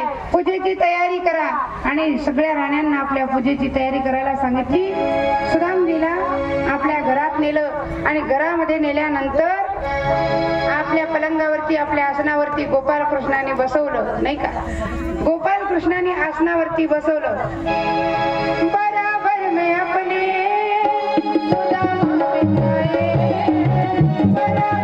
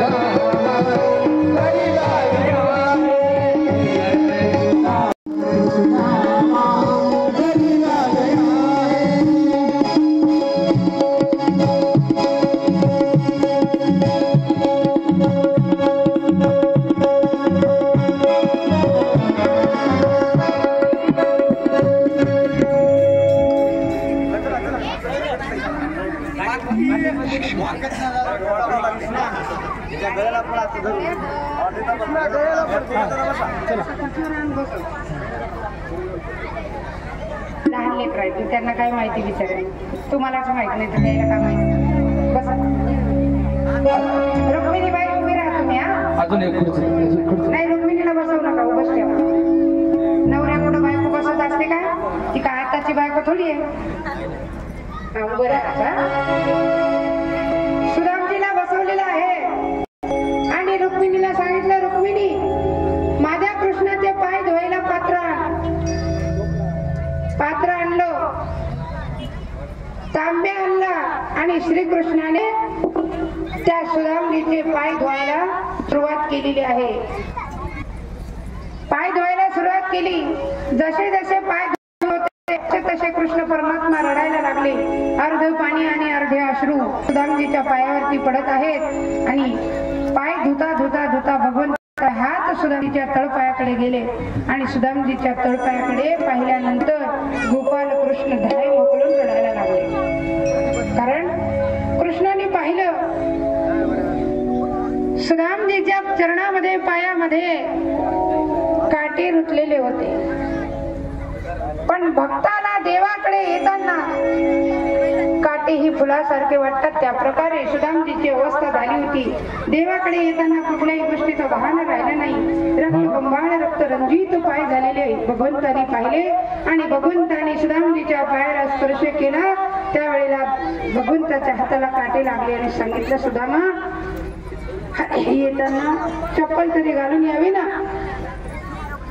कृष्णाने सांगितलं सुदामनी येताना वाहना तरी पायात घालून यायचं ना रे? किती काटे घुसले तुला. सुदामजीने सांगितलं कृष्णा तुला खरं सांगू तुझ्याकडे येत असताना ना मला भानच राहिलं नाही. खरी परिस्थिती नाही सांगितली. पायामध्ये वाहन नाही घरी चप्पल घालायला नाही सांगितलं नाही सुदामजीने मला स्मरण राहिलं नाही. असं म्हणून गोष्ट तिथेच मुरवून टाकली. कृष्णाने पायाला स्पर्श केला. आणि ज्या चरणाला कृष्णाचे हात लागले ते चरण अगदी फुलासारखे कोमल झालेले आहे. काटे रुतलेले नाहीसे झाले. सुदामजीला घेतलं आणि सुदामजीला आपल्या कक्षामध्ये नेलं. आपल्या अंथरुणावरती झोपवलं. सुदामजीचे पाय दाबत होते.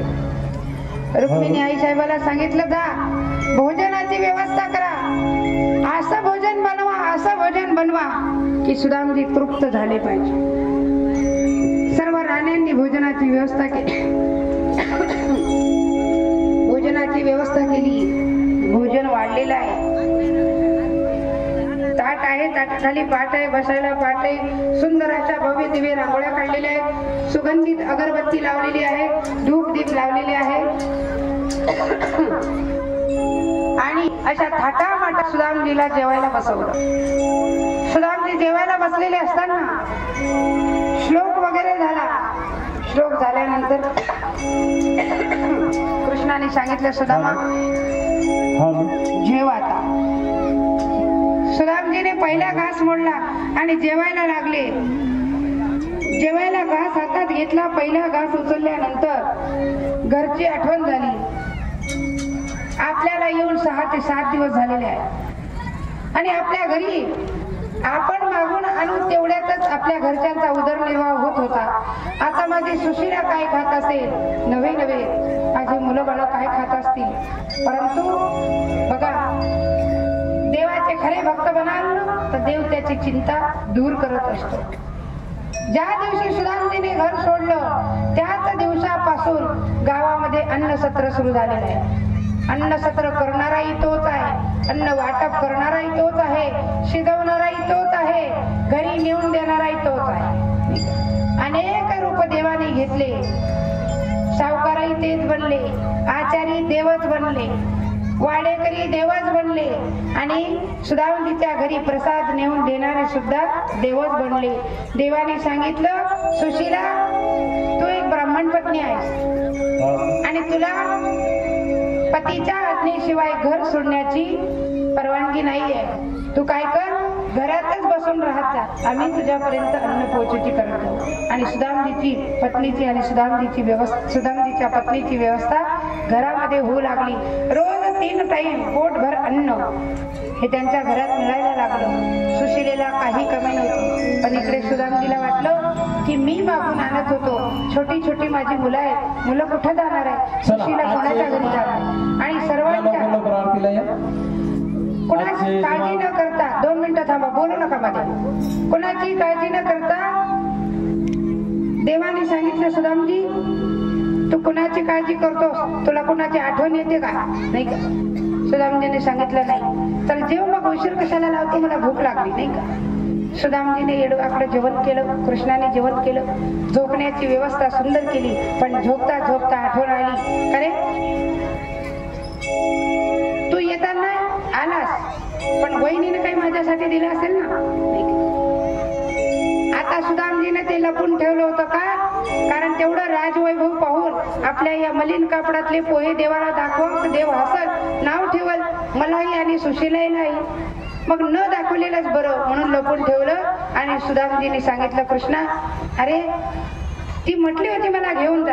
नाही का? पण येत आहेत आम्ही विसरूनच गेलो. ते म्हणे तू जर विसरला तर इकडं काय लपून ठेवलं. म्हणे काहीच नाही. काय लपून ठेवलं सा. आणि म्हणून ते गाठोडं भगवंताने हिसकावून घेतलं. पाहिलं त्याच्यात पोहे होते. गाठ सोडली पाहिलं पोहे होते. सांगितलं सुदामा अजून खोटं बोलायची परिस्थिती तुझी गेलीच नाही का? नाही लहानपणी खोटं बोलला होता. कधी? सांदीपणी ऋषीच्या आश्रमात ज्या वेळेला आपण आणण्यासाठी गेलो होतो त्याच वेळेला. आपल्या गुरुमातेने आपल्याला तुझ्या जवळ चणे दिले होते सर्वांना खायला. एकाच झाडावरती तू वर बसला होता मी खाली बसलो होतो. पाऊस सुरू झाला वारा सुरू झाला थंडी सुरू झाली. आकाशात ढग चमकू लागले विजा कडकडू लागल्या. आणि तू त्या वेळेला चणे खात होतास. मी तुला विचारलं तू काय करतोस? तर तू काय म्हटला तूच काय तू काय स्वतः काही नाही कृष्णा खात काहीच नाही माझ्या माझे दात वाजत. असं तू उत्तर दिलं होतं तेव्हाही खोटं बोललास आणि खोटं बोलतोस तुला माहितीये त्या खोटं बोलण्यामुळे तुला अठरा विश्व दारिद्र्य भोगावं लागलं. बघा एका चण्यामागे अठरा विश्व दारिद्र्य हो. म्हणजे अठरा चणे खाल्ले होते. म्हणून अठरा विश्व दारिद्र्य सुदामजीच्या पदरात आलं. तुम्हालाही सर्वांना सांगते देवाला चोरून खात जाऊ नका बरं का. कारण काय होतं? आपल्याला दारिद्र्य भोगावं लागतं. सुदामजीने सांगितलं अरे कृष्णा तसं काही नाही. अरे हे तुझ्या वहिनीनं दिलं मला माहितच नाही. आणि इकडे घेतले आपल्या मुठीत घेतले आणि एक मूठ खाल्ली. एक मुठीमध्ये स्वर्ग देऊन टाकला. दुसरी मूठ खाल्ली. मृत्यू पाताळ देऊन टाकलं आणि तिसरी मूठ खाणार राहिलेला वैकुंठही देणार होता. नाही का? तिसरी मूठ खाल्ला खाणार तेवढ्यात रुक्मिणीनं हात धरला कृष्णाचा. सांगितलं का हो? रुक्मिणीनं हात धरला कृष्णाचा. वहिनीनं दिलेलं तुम्ही एकटेच खाणार का? नाही का? का आम्हालाही थोडस देणार? म्हणून उरलेले पोहे रुक्मिणी मातेनं जामवंती सत्यभामासहित स्वतः ग्रहण केले. त्यावेळेला जामवंतीने विचारलं जामवंती हुशार होती. सांगितलं रुक्मिणी ताई तुम्ही कृष्णाच्या हाताला हात धरले आपल्या पतीच्या आणि ते पोहे खाल्ले. तिने सांगितलं जामवंती याचं कारण आहे. तुला माहीत नाही आपला पती फार भोळा नाही का? त्यानं स्वर्गही दिला मृत्यू दिला आणि पातळही दिलं. आता वैकुंठ जर या घासात दिलं असतं आपण कुठं राहायचं होतं? म्हणून तर मी हात धरला ना खाऊन घेतला नाही का? ठीक आहे. खाल्लं बरेच दिवस लोटले. सुदामजीला घरची आठवण आली. आठ दहा दिवस उलटल्याच्या नंतर सुदामजीने सांगितलं कृष्णा आता मी तुझा निरोप घेणार होतो. नाही का? त्यावेळेला कृष्णाने सांगितलं ठीक आहे जाऊ शकतो. रुक्मिणी आईसाहेब म्हटले भाऊजी अजून दोन चार दिवस राहा ना. तुम्ही राहिले ना नाही का? हे तरी घरी राहतात. तुम्ही नसल्यावर हे सकाळपासून संध्याकाळपर्यंत बाहेरच राहतात तुम्ही आहे म्हणून हे घरी आहे. तुम्ही अजून दोन चार दिवस राहा. त्यावेळेला सुदामजीने सांगितलं नाही. पाहुण्यांनी जास्त दिवस राहू नये. आता आठ ते दहा दिवस झाले.